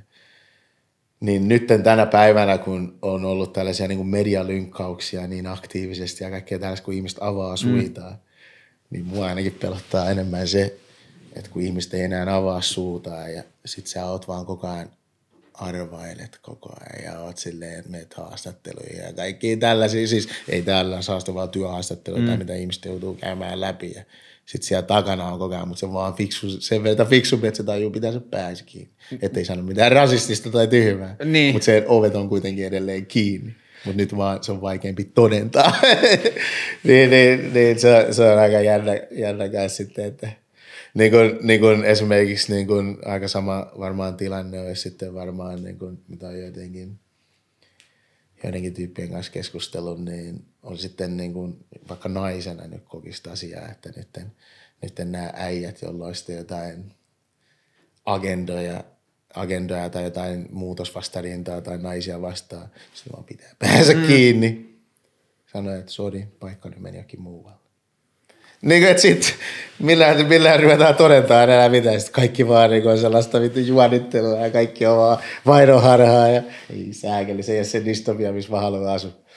Mutta, Joo, ehkä toi on myös asia, jota on miettinyt paljon liittyen just ehkä seksismiin ja mm. miesten yleiseen käytökseen niin kuin historiallisesti ja just mm. rasismiin ja muuhun, että ensin kun siitä opittiin puhumaan uudella tavalla, sitten tuli tämä säikäytysreaktio mm. Mm. ja se, niin sitten toivoo, että siitä päästään just eteenpäin ja löytyy niin kuin uusi avoimuus.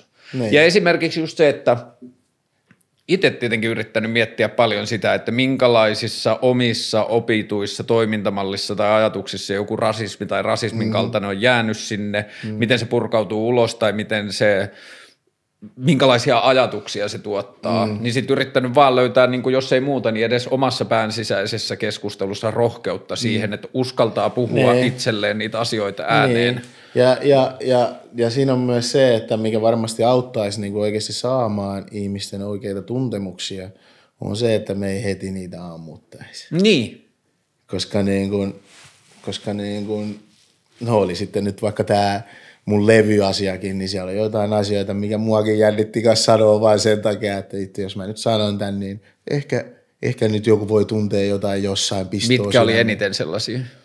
No silleen, että on so, uh, uh, uh, you can see it in the hustle, no, deny, no denying that the struggle been inherited. Our so-called saviors got them closets full of skeletons. Meidän mm. niin sanotulla pelastajilla on ka- kaapit tänä luurankoja ja, ja miten se nyt jatkuu, Guys full of skeletons.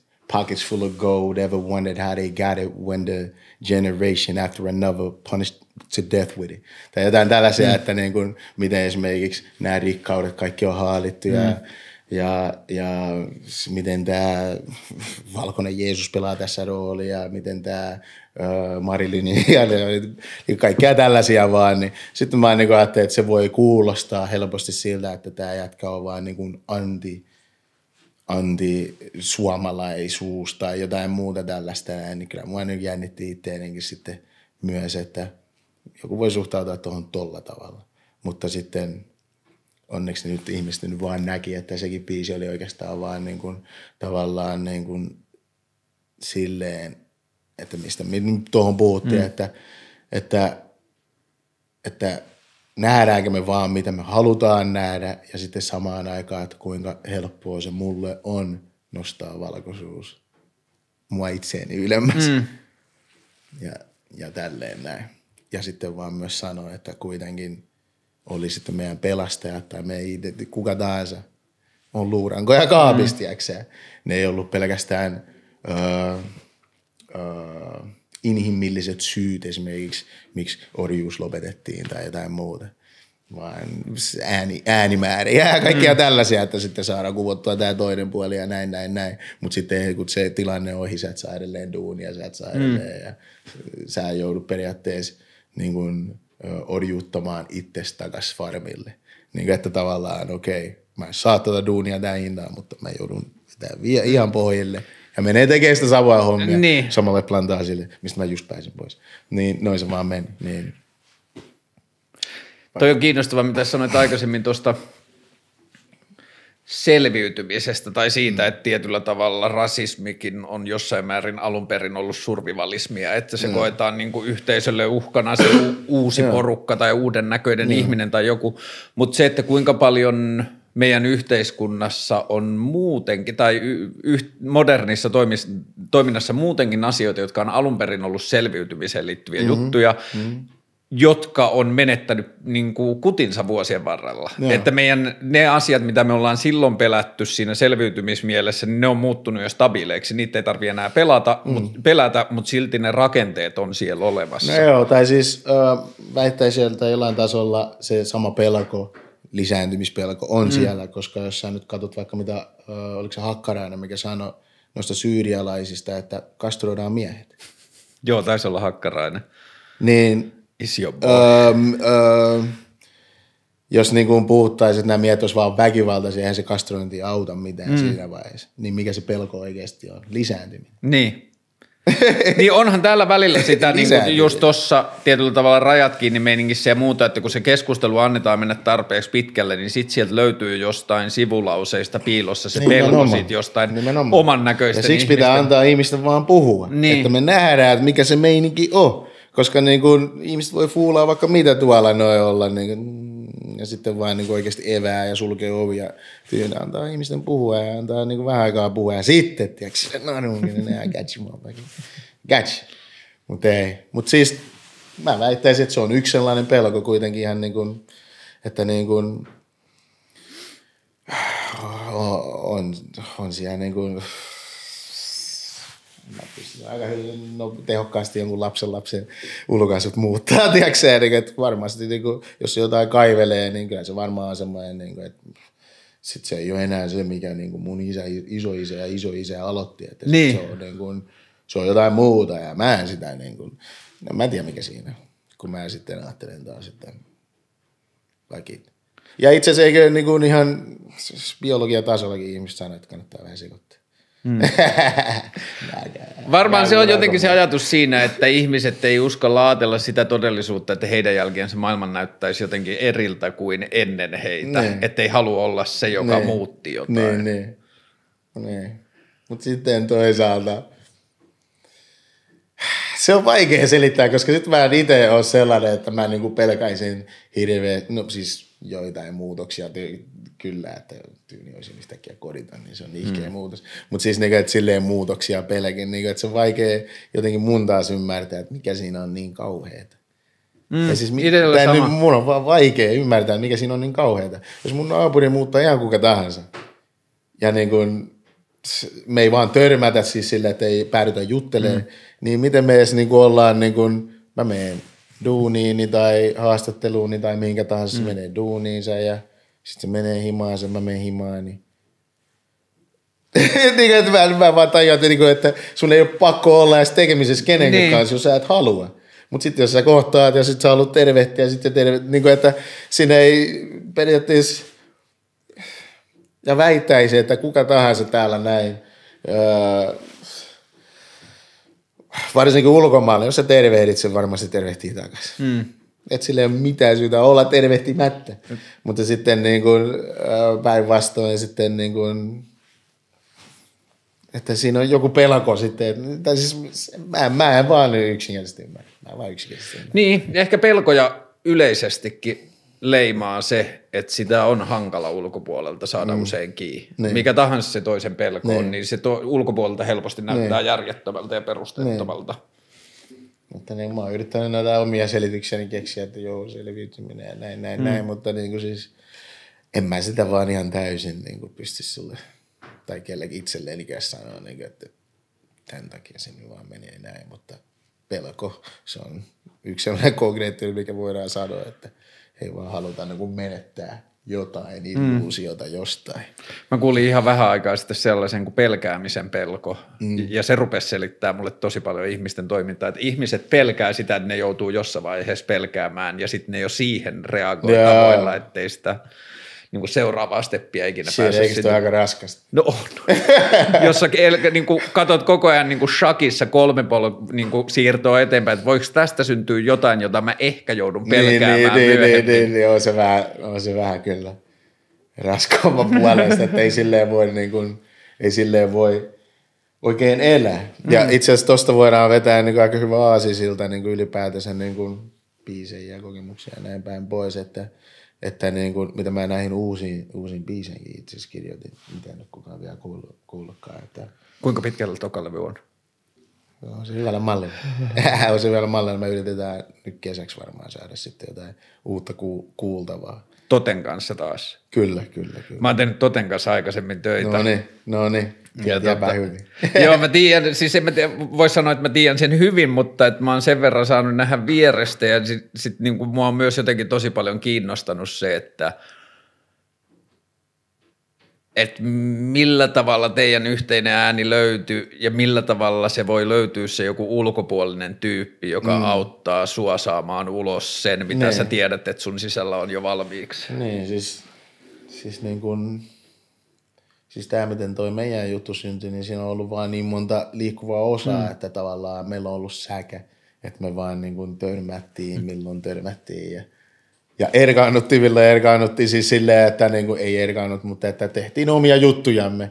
Ja sitten jossain vaiheessa tuli tämä teatteriprokkis ja sitten alkoi olemaan toistensa kanssa tekemisissä. Ja niin se oli äänisuunnittelijana siinä teatteriprojektissa. Se oli, se oli teatteri, te, teatteri, teatteriprokkiksessa Mirja Makeba näytelmässä äänisuunnittelijana ja kuulin mun vähän laulavan siinä suahiliksi, suahiliksi ja niin päin pois. Ja eikä se nyt varsinaisesti suorastaan niin ehdottanut siitä heti suoraan, että rupeen laulaa, vaan se oli niin kuin, että hänellä oli omia prokkiksia ja mä vähän nautin niihin, niihin sitten räppiä ja sitten pikkuliaa ujutin jotain omia juttujani ja sitten niin kuin, totta oli vaan niin kuin vähän niin kuin, että olisi kyllä mielenkiintoinen niin kuin tavallaan niin kuin tällainenkin kokeilu ja sitten mä en tiedä, mä en tiedä osaa laulaa. Niin sitten se oli niin osa tälle, että, niin kuin, että kuultiin ja niin mä, että onko laulaminen kuitenkaan, että mä oon se, tiedätkö, se jäbä. Mm. Mä oon se jäbä, joka, tiedätkö, jolla ei ole päiväkirjaa. Okei, okay, otetaan askele vähän taaksepäin. Jos täällä on Megaphone State ja Eko ja täällä on Jesse Markki, mitä siinä välissä tapahtuu?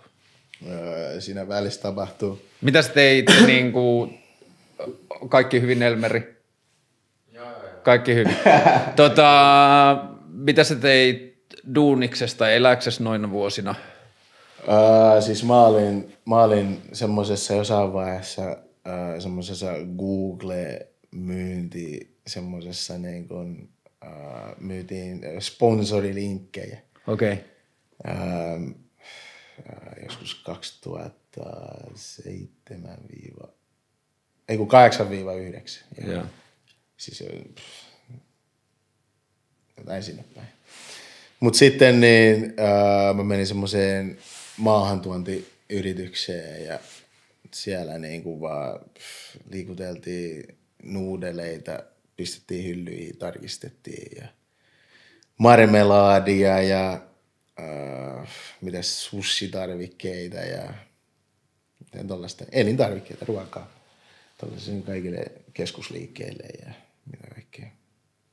Niin tollaista tein periaatteessa ja sitten keikkailin ja no miten siinä välissä olisi tapahtunut. Oliko välissä, Paljon menetyksiä.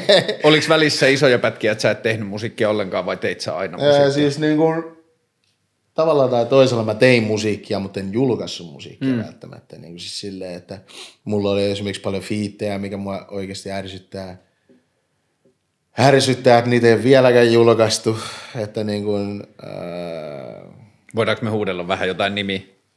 Hu- viittämään huulella. Tämä ei millään pahalla, mutta Petteri, hei, pikkuhiljaa.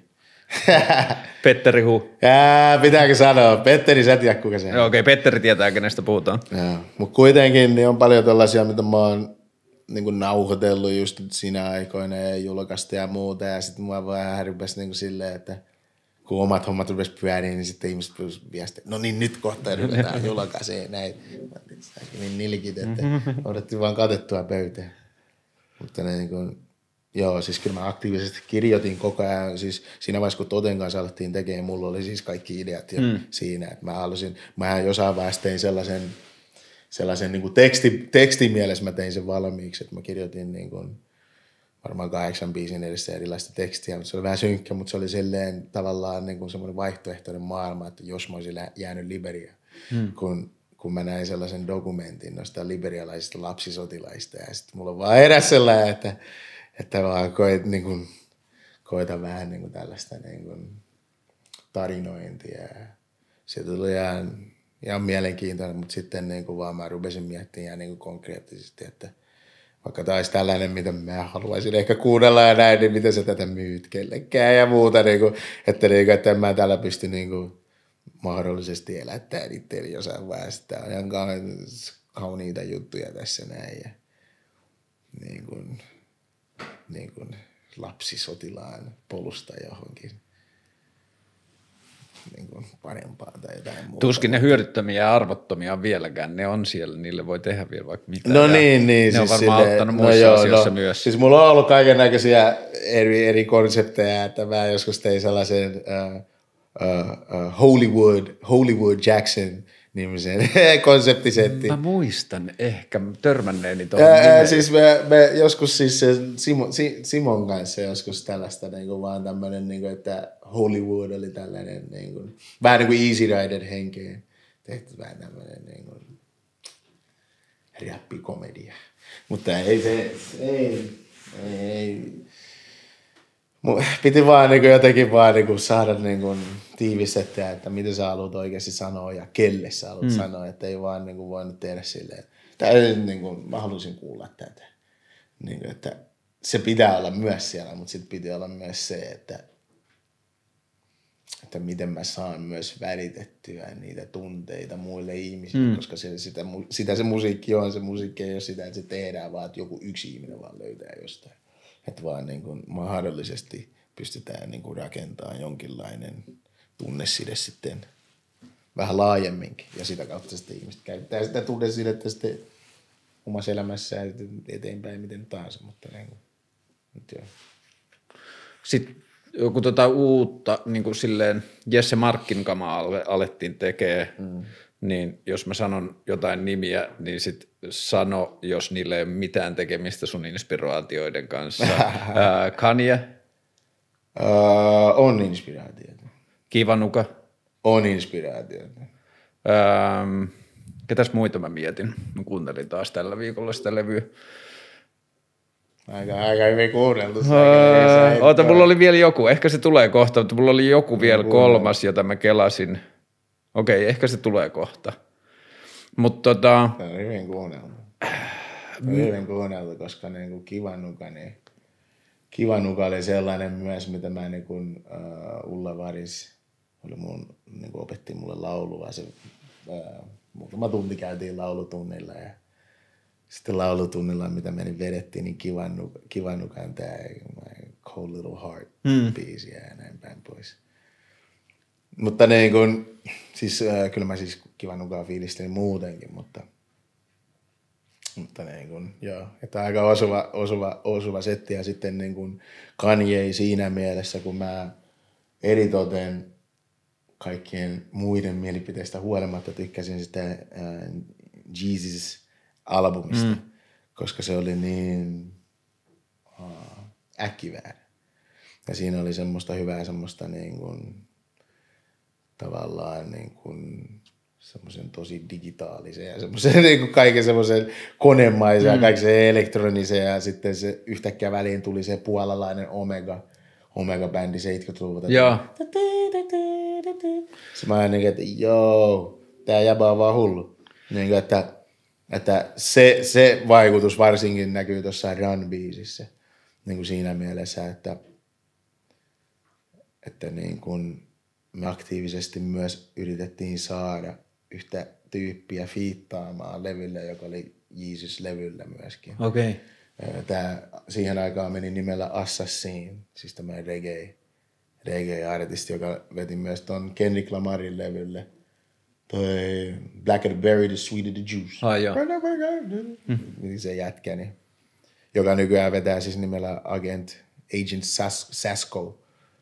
Mutta niin kun, häneen oltiin joskus yhteydessä, mutta niin kun ei, ei, ei natsannut, niin sitten jouduin laulaa kertosäkeen itse. Siinä Jesus-levyllä on myös se, toi Strange Fruit, toi Nina Simon Sam. Joo, joo, joo. Niin se joo. on upeasti jotenkin käytetty Joo. se ajatus, se on, miten hyvin, se on hyvin käytetty siinä, mutta, mutta toi No ID teki sen vielä paremmin Commonin levylle. Ah, joo. ne, siis moni on riipannut sen sampleen, mäkin olen tehnyt siitä, mutta niin kun, se oli aika hyvä biitti se, mikä No ID teki siitä. Mutta siis Kanyein setti on myös tosi hyvä. Ah, se kolmas, mikä mulla oli, oli itse asiassa toi Black Mesa ja, ja niin kuin D'Angelo, Joo, niin kuin sieltä se- jotkut menot. Se, se Joo. on kovassa kuuntelussa ja siinähän on just tämmöinen tavallaan vähän semmoinen bändifiilis läsnä, mm. mutta sitten myös sitä vähän singer songwriter osastoa ja sitten vähän niin kuin tietyllä asenteella ehkä myös räppiä, mutta kyllä mä koen, että siinä että sitten tuotiin sitten paljon sellaistakin, mikä, mikä ei voisi välttämättä niin kuin, mitä nämä jätkät, mitä nyt mainittiin tässä, ei mm. olisi tehnyt. Että niin kuin, no esimerkiksi uh, Fire on yksi sellainen, missä tulee sitten tin, tin, tin, tin, tin, tin, ja sitten niin, että tavallaan se niin kuin, sieltä taas niin kuin, vaan mennettiin sieltä mun ehkä niin kuin Deftones Korn maailmasta mm. ja sitten, sitten samalla sitten vähän Race Against the Machine. Joo, ja sitten todellakin, ja sitten niin kuin vähän tämmöisistä Havaji, Havaji-jutuista, että niin kuin molemmat hyviä juttuja. Santo mutta, i mutta onko Johnny. kuullut yhdessä? Ni, Santo i Johnny. Näin, näin se menee, Joo. näin se menee. Tota, sit se oli jännä, mä oon nähnyt sut silloin tuolla Balloon Stageillä, äh, Flowssa. Mikä flow? Ai, mikä se flow? Ai, niin, Se, mikä löytyy siis Yle ai, Areenasta. ai se. Joo. Ai sitäkin.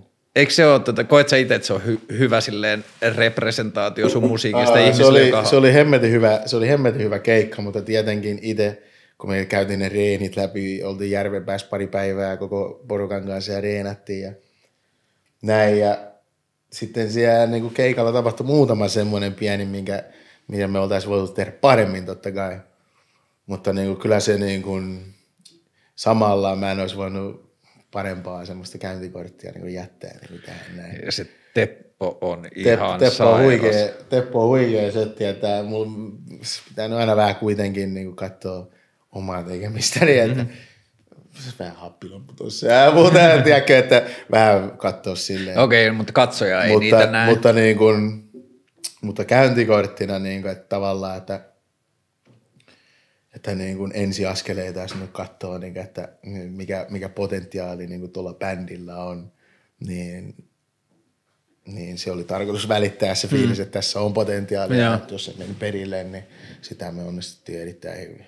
Mutta sitten sillä keikalla esimerkiksi se on mennyt mulle jotenkin ohi, ja mä en tiedä miksei se ole aikaisemmin, mutta eikö, ö, enää mä nyt muista väärin, Sunshine, Joo, Sunshine, joo. jossa sä niin kuin sitten taas räppäät ihan täysillä. Joo. Ja sitä kuunnellessa mulla tuli vaan mieleen se, että onko sulle, Ja Simon Soundi tuotti sitä kanssa. aa niin just, okei. Okay. Et se on semmoinen megaphone state. Niin, että sä soitit silleen, että hei, we need to get the niin, niin, boys niin, back. Niin, niin, niin, niin. Uh, mutta onko toi semmoinen juttu sulle, mitä sä kaipaat tai joka kumpuaa susta silleen sisältä, että kuinka paljon sus on vielä silleen räppäriä jossain? Ei, mun mä oon niin loppuun asti räppäri. Mä en ole ikinä missään vaiheessa ajatellut, että edelleenkään laulan tai en laula, niin en mä ole ikinä ajatellutkaan, että mä olisin...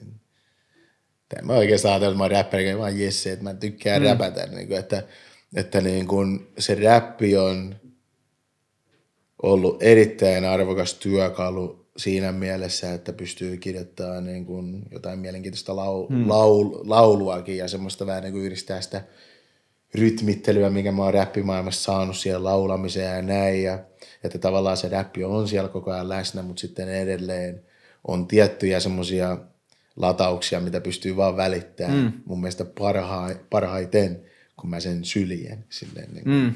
Onko Drake ollut sulle tärkeä? Drake? Niin. Öö, mä oon Drakea kuunnellut kyllä paljon.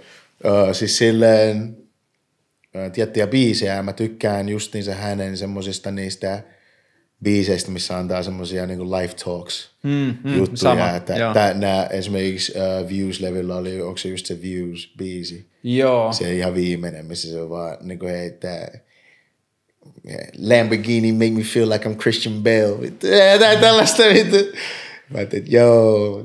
Et, siis niinku, vaikka se niinku flossaa pirusti siellä välissä aina heittää jotain niinku, hyviä semmoisia. Menestyksen niinku, signaaleja. niin, niin menestyksen signaaleja, mutta sitten semmoisia samaan aikaan, niin kuin, mitä se heitti kanssa sellaisen, niin kuin, en muista miten ne riimit meni, mutta periaatteessa, että ää, mä tekstaan tämän muijan kanssa, että mitä se lähetti mulle, että mä toivon, että mä olisin, I wish you would have kept it and sitting right next to this woman. Niin, että, sillä, niin kuin, että se kertoi silleen niin kuin sellaisia juttuja niin kuin, tavallaan niin kuin, jostain aborteista niin kuin sivu, sivuus ja kaikkea mm. tällaista, mistä niin kuin, tavallaan niin kuin, no itsekin nyt kaiken näköistä nähnyt, niin, niin ne, ne, biisit, ne biisit sitten niin kuin, äh, vetos sitten eniten, niin kuin just missä Drake vaan antoi justiinsa kaikkea sen äidistä. Mm.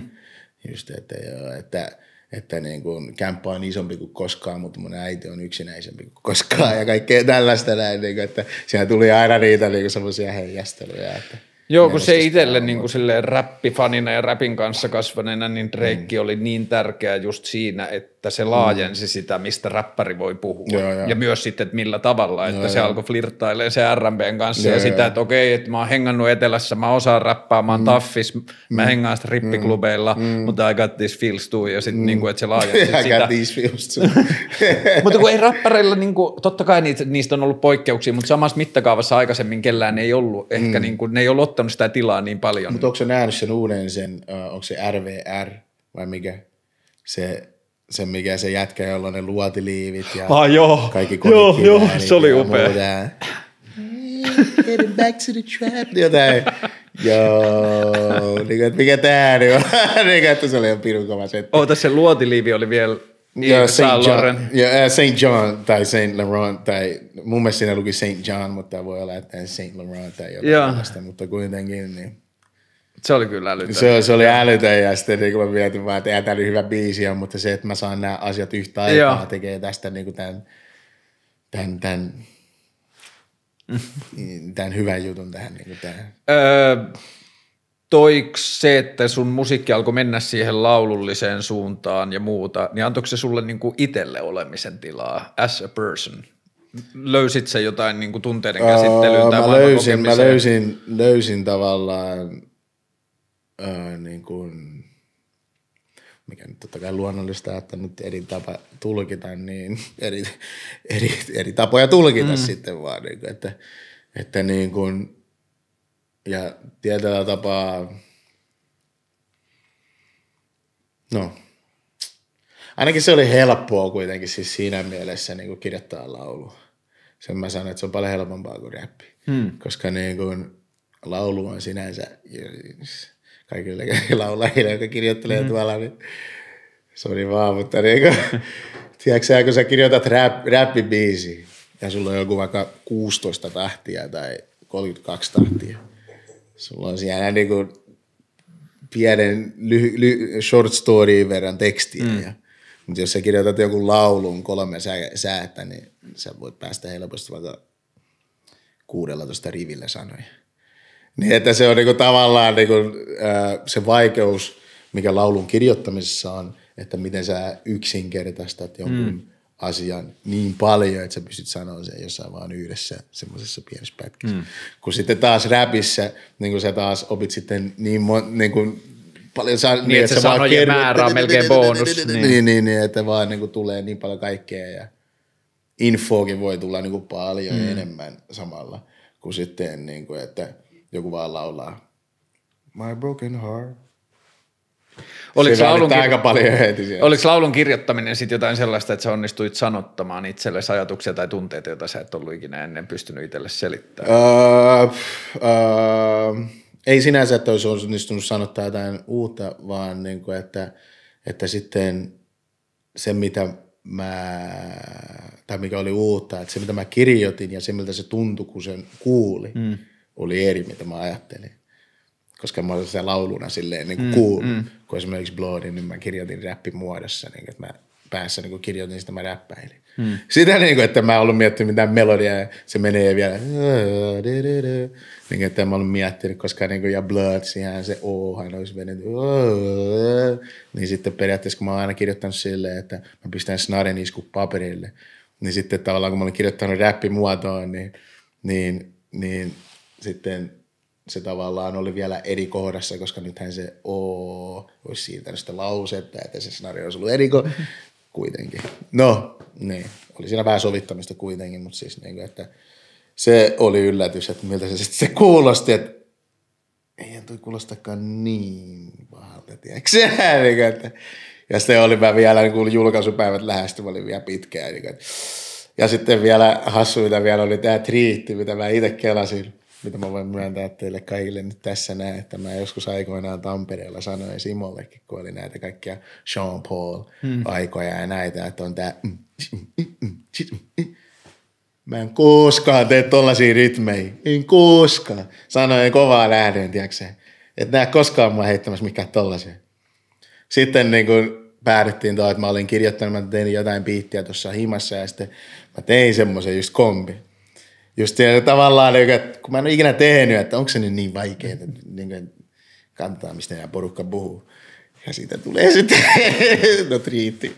Sitten tuli sitten niin aika, no mulle iso biisi kuitenkin. Että, Onko tämä oikea tulkinta, mutta mulla on tullut sun uraa seuratessa vähän sellainen fiilis, että sä oot niinku työskennellyt ja tehnyt sun musiikkia tosi paljon niin kuin vähän silleen omassa kellarissa, vähän sen isomman musiikkikulttuurin ulkopuolella. No joo, no joo, että, että niin kuin mä muistan aikoinaan, öö, onko Esra vai kuka, mutta kuitenkin sa- sanoi mulle, että hei tee yhteistyötä ton, ton öö, yhden ruotsalaisen räppärin kanssa, että mm. voisit tehdä yhteistyötä. Ja tämä oli siis ennen näitä folkkeja ja näitä. Sitten mä olin, että en mä, kun en mä tunne sitä. niin, että, niin, että mä niin kuin, mulla oli jotenkin ihan niin kuin tyhmä ajattelu, tai jotenkin semmoinen ihan niin kuin, että jos me ollaan silleen niin kuin jotenkin tunnetaan oikein, niin mm. ei oikein voida luodakaan mitään oikein silleen, niin kuin, että, koska niin kuin, se ei niin kuin, meidän pitäisi pystyä antamaan toisillemme. Ja se oli jotenkin, niin kuin, että nyt sitten taas niin kuin ehkä voisi sanoa, että voi silleen ammattimaisempaa, mikä mä sain itse asiassa tuolta niin kuin, Antti Hynniseltä, terveisiä vaan Antillekin. Mä oon lähtenyt paljon terveisiä Hyvä. Mutta kuitenkin niin sanoi mulle aikoinaan, saksofonisti siis, taitava, taitava muusikko, sanoi mulle aikoinaan, kun se teki jonkun biitin. Ja sitten mä että en mä osaa tuohon kirjoittaa. Sitten se, että, niin kuin, että ammattimies, niin kuin se aina vääntää, tiiäksä, niin kuin, että ammattilaiset. Se sanoi vaan tälleen näin. Ja vähän oli silleen, että yritätkö sanoa, että mä en ole, tiiäksä, että mä en pysty vaan. Mm. tiedätkö? Ja sitten niin kuin mä oon aina ottanut sellaisen sitten asenteen, että ihan mikä tahansa rytmi, mikä tahansa kuvio, mikä tahansa sanat mulle, siihen pystyy kirjoittamaan, jos sä vaan kirjoitat. Mm. Siis niin, että sun pitää vaan löydää se kulma siihen. Ja sitten se ajatus, mikä oli, kun myöhemmin tuli nämä bloodit ja näin, näin, näin, niin se sovitus homma ei ollut enää kauhean niin kuin vaikea. Se oli enemmänkin sit se työ siinä vaan, että uskoo, että se mun laulu voi kuulostaa hyvältä. Mm. Mutta niin ei se, mä olisin voinut ihan hyvin jos joku, ja niin kuin mä oon tehnytkin, että joku haluaa laulaa jotain lyriikkaa tai jotain, niin pistänyt lyriikkaa jotain ihmisille ja tällaista, mutta, mutta niin kuin, ei mitään, että niistä olisi tullut mitään isoja biisejä, mutta siis niin kuin, että pystyy kirjoittamaan, siis niin kuin, että siinä mielessä, että se sovitushomma ei ole niin kuin mikään. Onko menestyksen kautta toi meininki muuttunut siis sillä tavalla, että onko sun jotenkin tekemisen tai sen olemisen ympäristö laajentunut nyt enemmän siihen niin kuin vallitsevaan suomalaiseen musiikkikulttuuriin? Onko siinä tapahtunut muutosta? Teet sä tokaa levyä aika samalla lailla kuin sä teit öö, aika samalla lailla. Mä oon niin, mä oon niin nihkeä koittaa uusia. Ei vaan. Hmm. Siis Mutta kuviot toimii hyvin, niin mä jotenkin, mä oon niin mammilukki, että en uskalla ottaa riskejä, että lähtisin muuttaa mitään. Että niin kun Toten kanssa homma toimii, Vildin kanssa homma toimii, siinä se porukka on, mm. niin, niin mä en tarvi mitään hirveätä entouragea tai mitään niin. Niin kuin ympärille tai mitään muuta kertoo, että mikä nyt kuulostaa hyvältä, että nämä tyypit on tossa noin. Ja Simonkin lasken myös siihen, että niinku joiden mielipiteitä mä niinku... Onko Simo ollut mukana tekemässä? Öö, mukana siinä juttuja? mielessä, että hän tuotti sen yhden levyn, tai siis sen biisin, Sunshinein, ja sitten myös niinku, niinku, öö, keskustelussa mun kanssa. Että niinku, aika usein tai usein usein, mutta silloin tällä aina kun kedettiin, niin näkee, niin nykyään vähän useammin, mutta kuitenkin niin aina niin kuin soittelin, soittelin, mitä ollaan tehty ja sekin oli sitten alkuunsa kanssa vähän, kun me ollaan kuitenkin kanssa puristeja vähän mm. kuitenkin, että ollaan räppipäitä. Räppipuristeja. Räppipäitä, niin kyllä sekin sanoi triitistä, että älä, älä tätä pistää vittu. älä tätä pistää. Tätä ei ole hyvä vittu.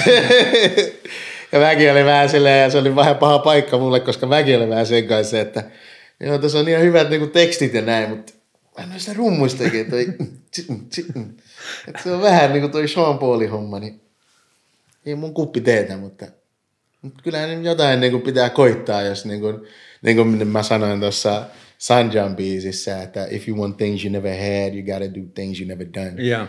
Niin, niin sitten mä niin kuin se ajatus kanssa takaraivosta, että pakit. Tämä on hyvä biisi saakeli, että tämä on nyt vaan niin kuin mun omat jotain, niin kuin vaan niin kuin, itteni niin kuin, rajaamista jostain kumman syystä. Esimerkiksi samalla lailla me räjähtiin itteemme myös samplejen suhteen, mm. että sä et voi samplata mitään, joka on niin kuin, vuoden 92 jälkeen. Ja kaikkea tällaisia näin. Niin kuin, Miksi ei 92 jälkeen? Se on aito.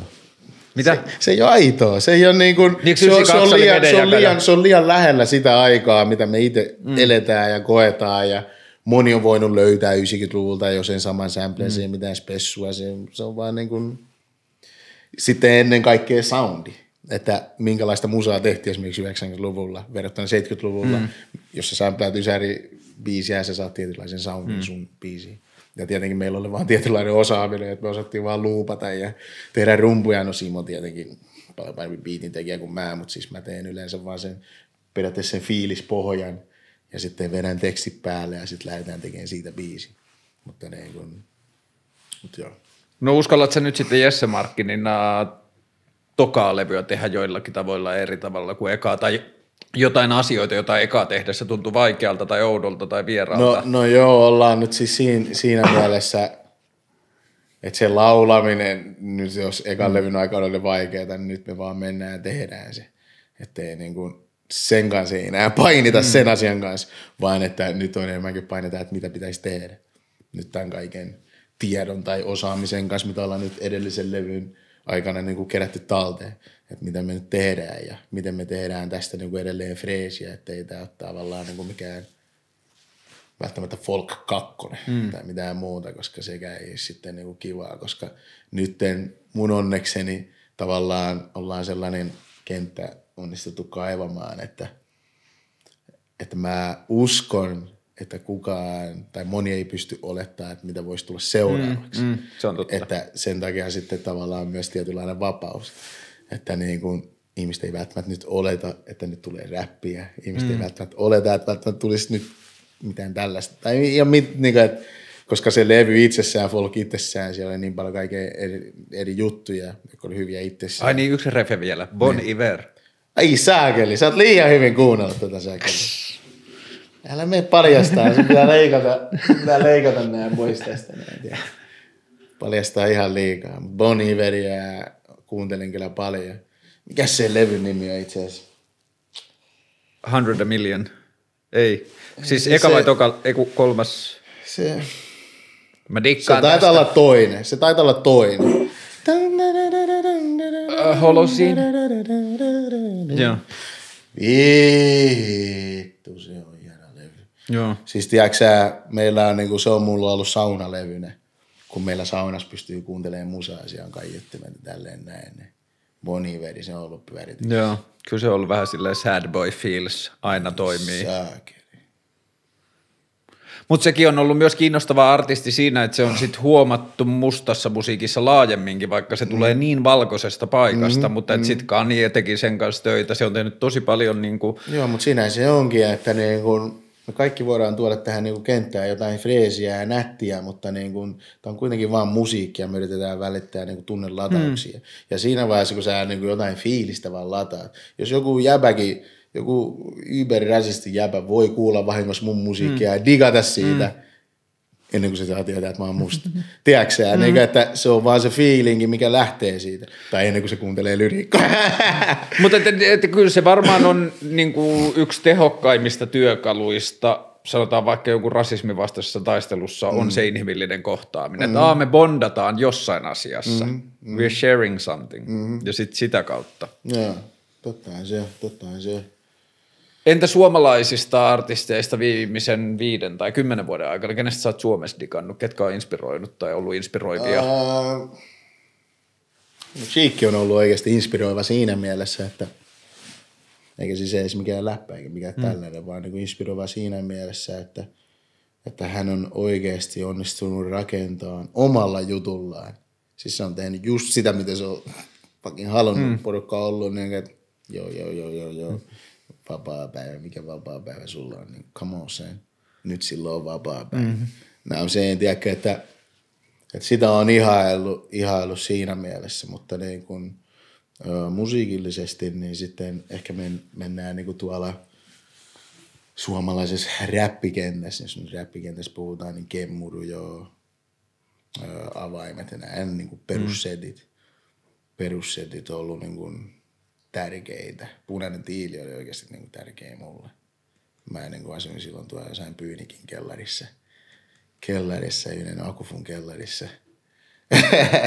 Odottin, että mun opiskelija-asunto vapautuu ja kuuntelin siellä punaista tiiltä, tiedätkö Pommit tippuu, miten, mitä, mitä, mitä, mitä, mitä, mitä, mitä, mutta joo, ja samaan aikaan kyllä pumppasin paljon myös, olihan mulla se ennenkin jo se levy, mutta siis ilmatikkiä pumppasin samaan mm. aikaan siellä kellarissa, mutta, mutta joo. Mutta joo, suomalaisista siis on paljon, paljon sellaisia, mitä on fiilistellyt, mutta ehkä isän kautta sitten tuli nämä perinteisimmät suomalaiset, suomalaiset, kun isä nyt kaanalaisena miehenä totta kai fiilisteli Neon kakkosta ja fiilisteli tota J. Karjalaista ja mitä kaikkia näitä, näin siis suomalaisia, mm. siis oli hänellä tietenkin paljon.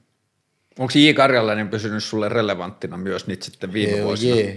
Hell yeah, tiedätkö, että jäbät, jotka tekee hyvää musaa, kaunista musaa, että niinku, että mit, what's not to like, tiedätkö, että mä olin ihan esimerkiksi, mä olin ihan paskana, siis hyvällä tapaa, hyvänä, hy, hy, hyvällä tapaa paskana, kun mä kattelin Emmaston äh, Putronkin vetoa mm. siinä, tiedätkö mä katsoin, että vittu joku voi kuvata siellä, niin saatana rupeaa tää vetelehtiin. joku voi kuvata siellä. se oli kaunis setti ja sillä on muutenkin ollut niin kuin, aika huikea se, se levy ja sitten niin kuin, no muutenkin. En mä tiedä, hienoa sanotusta ja näin, näin, näin. Mutta joo, siis no, Suomessa on paljon, mutta niin kuin, mulla ehkä sitten enemmän täällä Suomessa, kun on muusikoita, niin se kääntyy enemmän sinne niin kuin rockin ja mm. kaiken tämän mm. puoleen, mistä sitten on vaan mikä on oikeasti tärkeää muodostaa, että kuten tämä Apulainen biisi, on oikeasti, niin kuin, mitä mä voin sanoa, että se on oikeasti ollut sellainen, niin kuin, että ää, tärkeä biisi, mutta sitten toisaalta mulla on myös ollut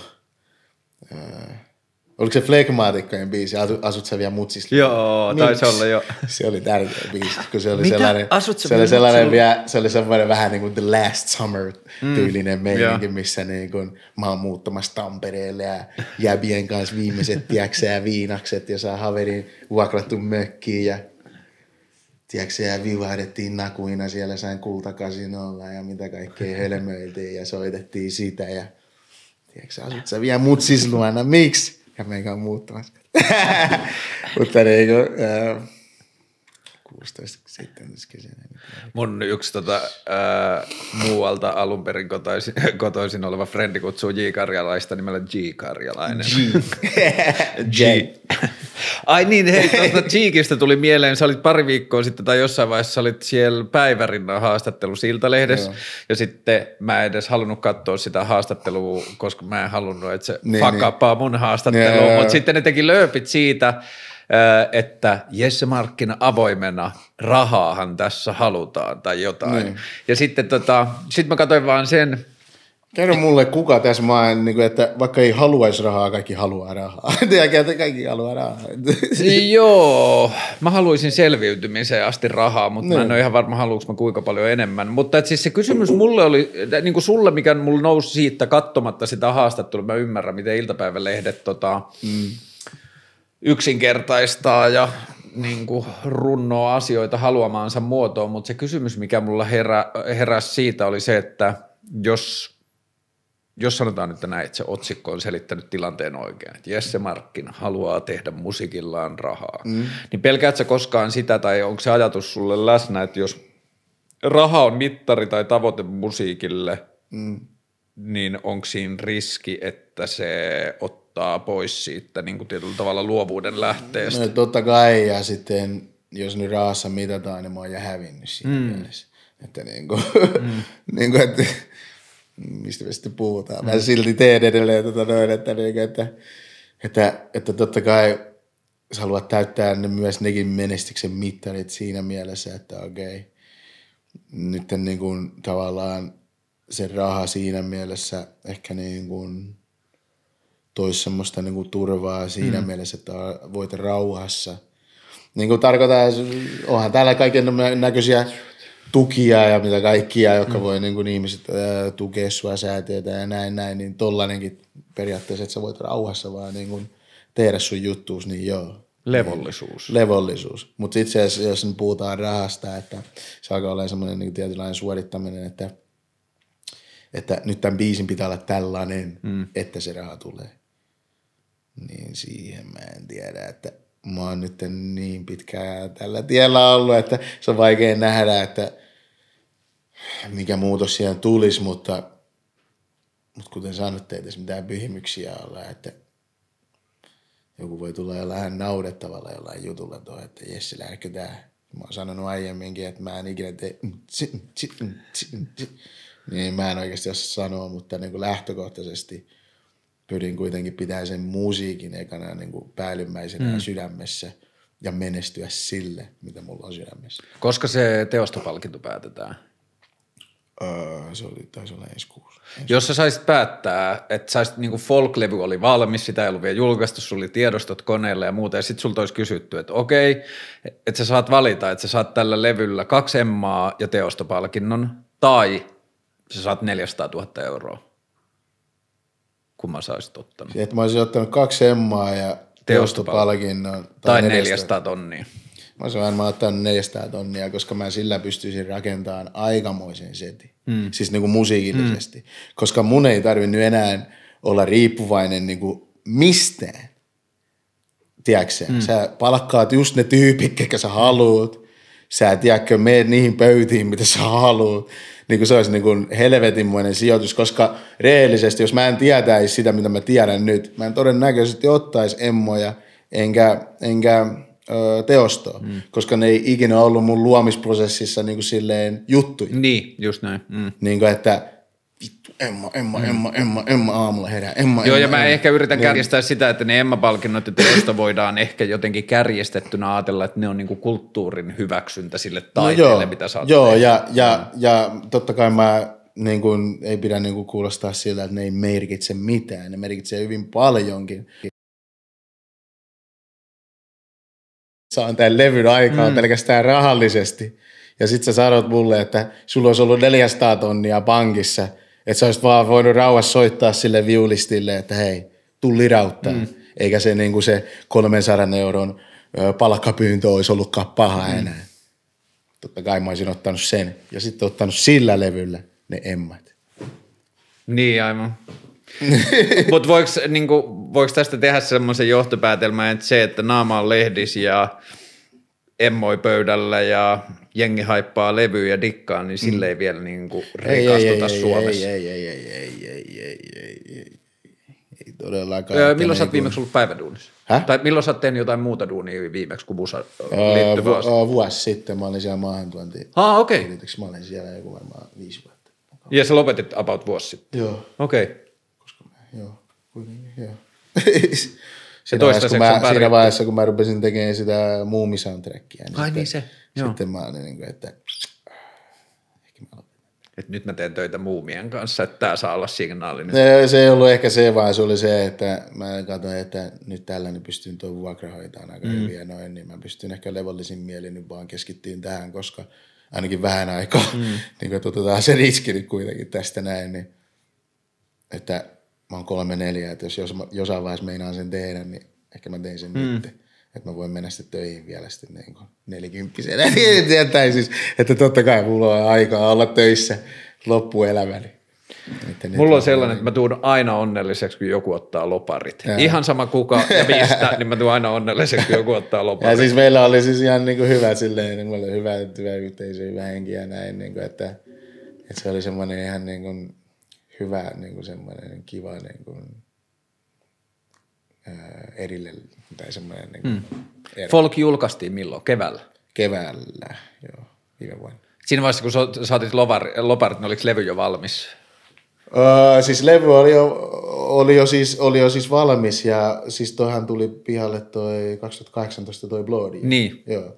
Niin, niin joo, kyllähän ne oli jotain kuullut ja siellä meillä on ollut jotain uusia työntekijöitäkin ja muuta. Ja tää on itse asiassa hauska muuten, mikä voi sanoa näin jälkeenpäin, nyt kun on Emma Kainalas, niin, niin yksi niistä työntekijöistä sanoi, että äijä menee nappaa joku Emman kuitenkin. Aha. Ja siis tää oli paljon ennen kuin oli ehdokkaita eikä mm. mitään tällaista, kun se oli nähnyt ton, oliko se Jerikon videon tai mm. tällaisen näin. Heitti vaan ja sitten mä niin olin siinä pff, varmaan mitään englanninkielistä, että herää nyt. Mm. Että, ei mitään järkeä, että jos joku voittaa, se on late. Näinhän kävi, että mä kiilasin sitten. Miten sun intressit muuten ton Englannin kanssa, haluisit sä, niin kuin, että ura ja tekeminen alkaisi nyt ohjautumaan ulkomaille enemmän?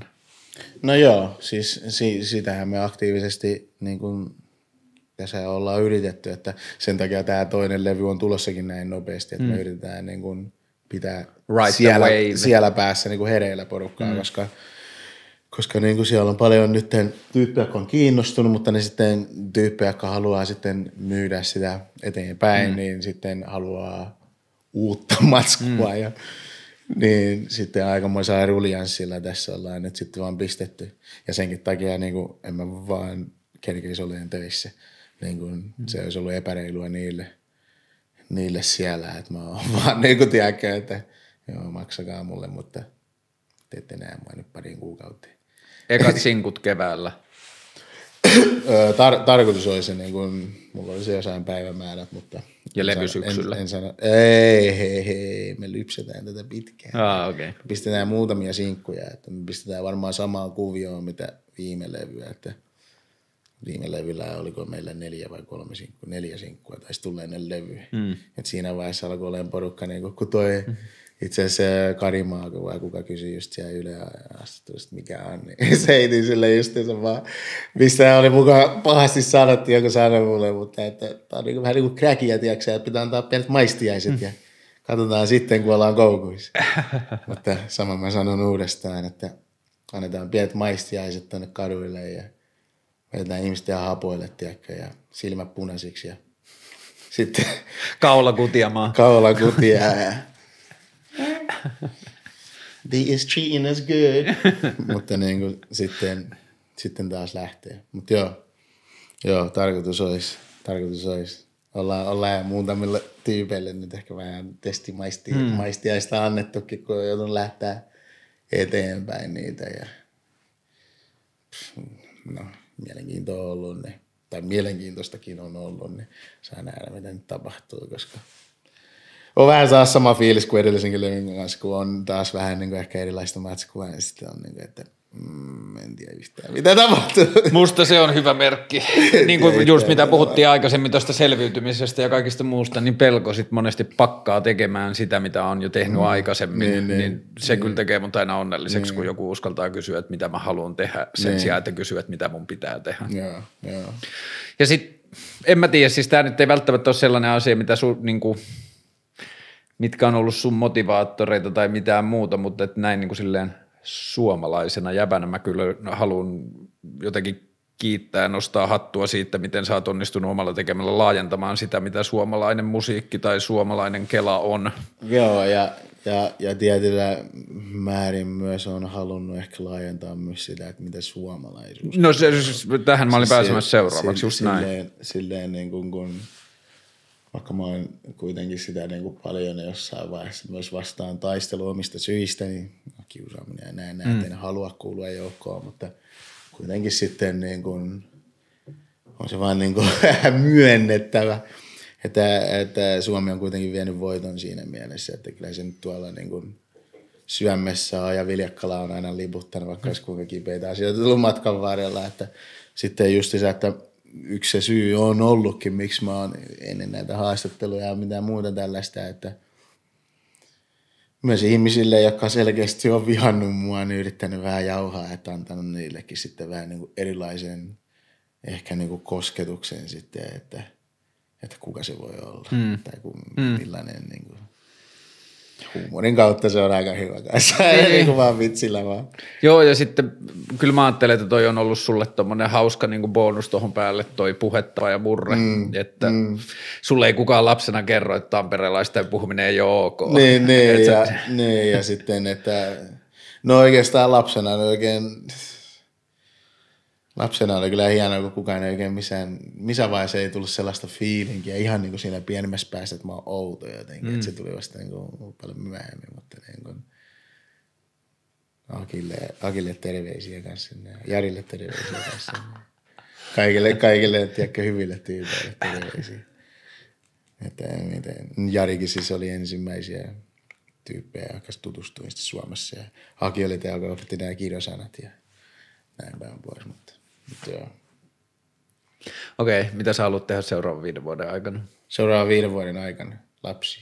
Lapsi. Ää, ei vai, ei vai. Onko sulla jo yhteistyökumppani tähän Ei, projektiin? ei, ei. ei se oli vitsi, se oli vitsi, Okei. se oli vitsi. Kyllä mä haluan lapsia, mutta en, en, en ole mitään aikarajaa sillä asettanut, mutta niin kuin, mitä mä oikeasti haluan, niin mä haluan niin kuin, pystyä nostamaan tämän jutun sille tasolle, minkä se ansaitsee. Hmm. Se, jonka sä tiedät itse en sano, mikä oikeaksi. taso, Niin, mutta niin, niin, niin. mystinen vähän tolleen. Se taso, jonka sä itse tiedät oikeaksi. Mutta siis oikeasti niin se on paha sanoa edes, että mikä se on se juttu, kun että mm. multa on kysytty nyt paljon, että mihin sä nyt pyrit tähän, mitä, en mä mikä, niin kun, sä teet musaa ja toivot, että ihmiset löytää sen. Mm. Ja se on ainoa, mitä mä oon pitänyt mielessä, se on ainoa, mitä mä oon halunnut ja sitten, niin, että mihin mä niin kun, oon nyt menossa. Ja jos nyt ihmiset haluaa mut esiintyä tonne kuullakseen mun musaa, totta kai mä menen sinne, mm. oli se nyt vaikka joku seuraajien talo tai joku stadioni jossain, tiedätkö että mitä väliä sillä on, niin kuin, että tämä tyyppi on nyt löytänyt oikeasti jotain. niin kuin mun, mun musa, se on jo mul- mulle tämä niin tää matkan käydä, se on jo niin ihmeellinen asia, mm. että, että mitä mulla on se äh, 3000 seuraajaa Instagramissakin, niin sekin on niin kuin, täällä kaikki oikeasti mukaan niin kuin, no okei, ei varmasti kaikki, että siellä on vain ihmisiä tullut katsoa vain jotain kuvia, että tekeekö mitään hölmöä, mutta mutta ne niin väittäisin, että varmasti suurin osa on kuitenkin tullut. Paljon sun musa muuten on kuunneltu suunnilleen Spotifyssa? Uh, uh, kokonaisuudessaan se on jotain miljoona vai miljoona. Isoin biisi. Isoin biisi oli, on se varmaan enemmän kuin miljoona, kun se mm. isoin biisi oli Triit ja sekin oli nyt 600 000 Okei. soittoa. Että se on varmaan isompikin. Mä en ole niin paljon seurannut. Pitäisi seurata. Mä siis uh, olen ruvennut seuraamaan listoja paljon enemmän. Hmm. Niin, että missä se näkyy siellä. Öö, en vaan ylipäätänsä mitä listoilla soi. Niin just Mä en on. ole koskaan aiemmin, niin kuin, siis mä en tiennyt äh, Spotify-listoista enkä mitään ennen tätä folk hmm. julkaisua, koska mä en ikinä kuunnellut hmm. mitään radiolista. Mulla, mä en kuuntele radioa, te- TVtä, mä en oikein katso eikä näin. Niin, niin nyt mä oon vähän jäänyt koukkuun katsoa kaikkia listoja, vaan katsoa ihan kaikkia mahdollisia listoja, kuka on ykkönen ja millaista musaa se on. Ja ne on niin kuin, että ei ne ole sellaisia, niin kuin, että mä hakisin niin kuin inspiraatiota, mä, mä yritän jotenkin ymmärtää vähän, että ähm, no ehkä sitten inspiraatio siinä mielessä, että, että niin kuin ymmärtää, että mikä tässä on nyt se taika. Joo, mutta kyllä me aina eniten digataan niistä, joita me ei osattu nähdä, että se, Se on totta, se on totta.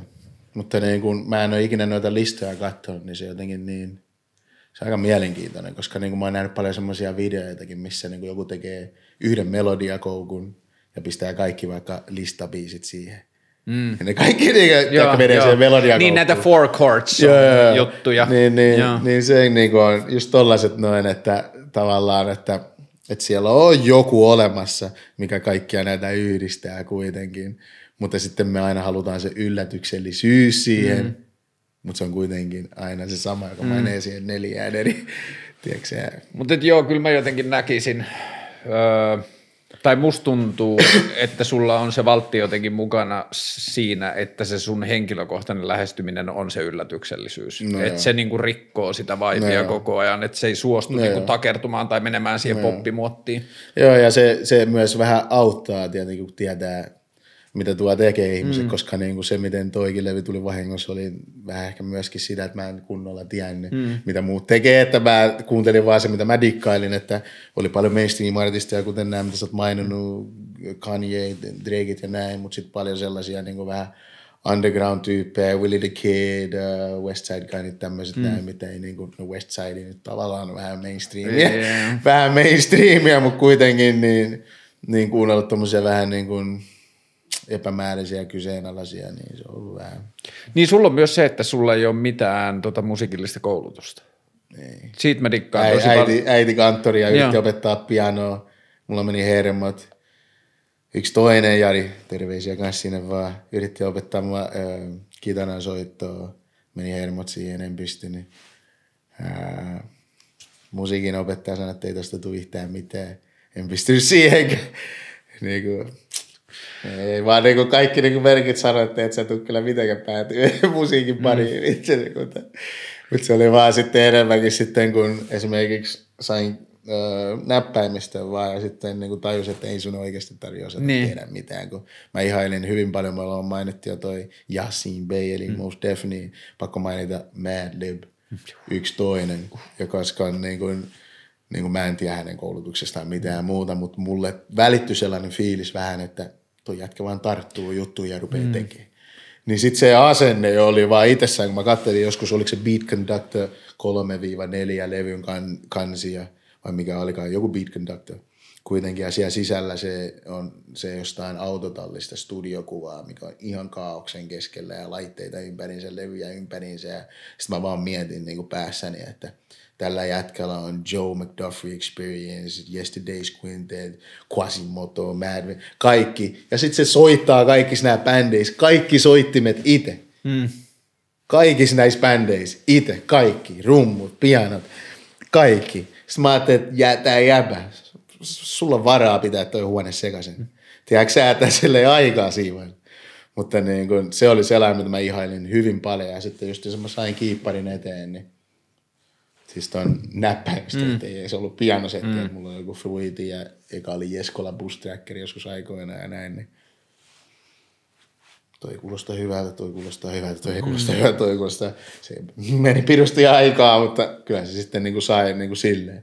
Mä en vaan jaksanut niitä kaikkea. Mä haluan suoraan siihen asiaan. Mä haluan välittää tämän tohon noin. En mä halua näitä muita tähän. Mutta joo, kyllä mä rupean, niin kuin, ei pelkästään musiikissa, vaan laajemmin elämässä niin kuin, jopa tieteeseen asti tai muuta, niin mä rupean koko ajan enemmän ja enemmän dikkaan niistä ihmisistä, jotka ei tiedä, miten pitää tehdä oikein. Mm-hmm. Mm-hmm.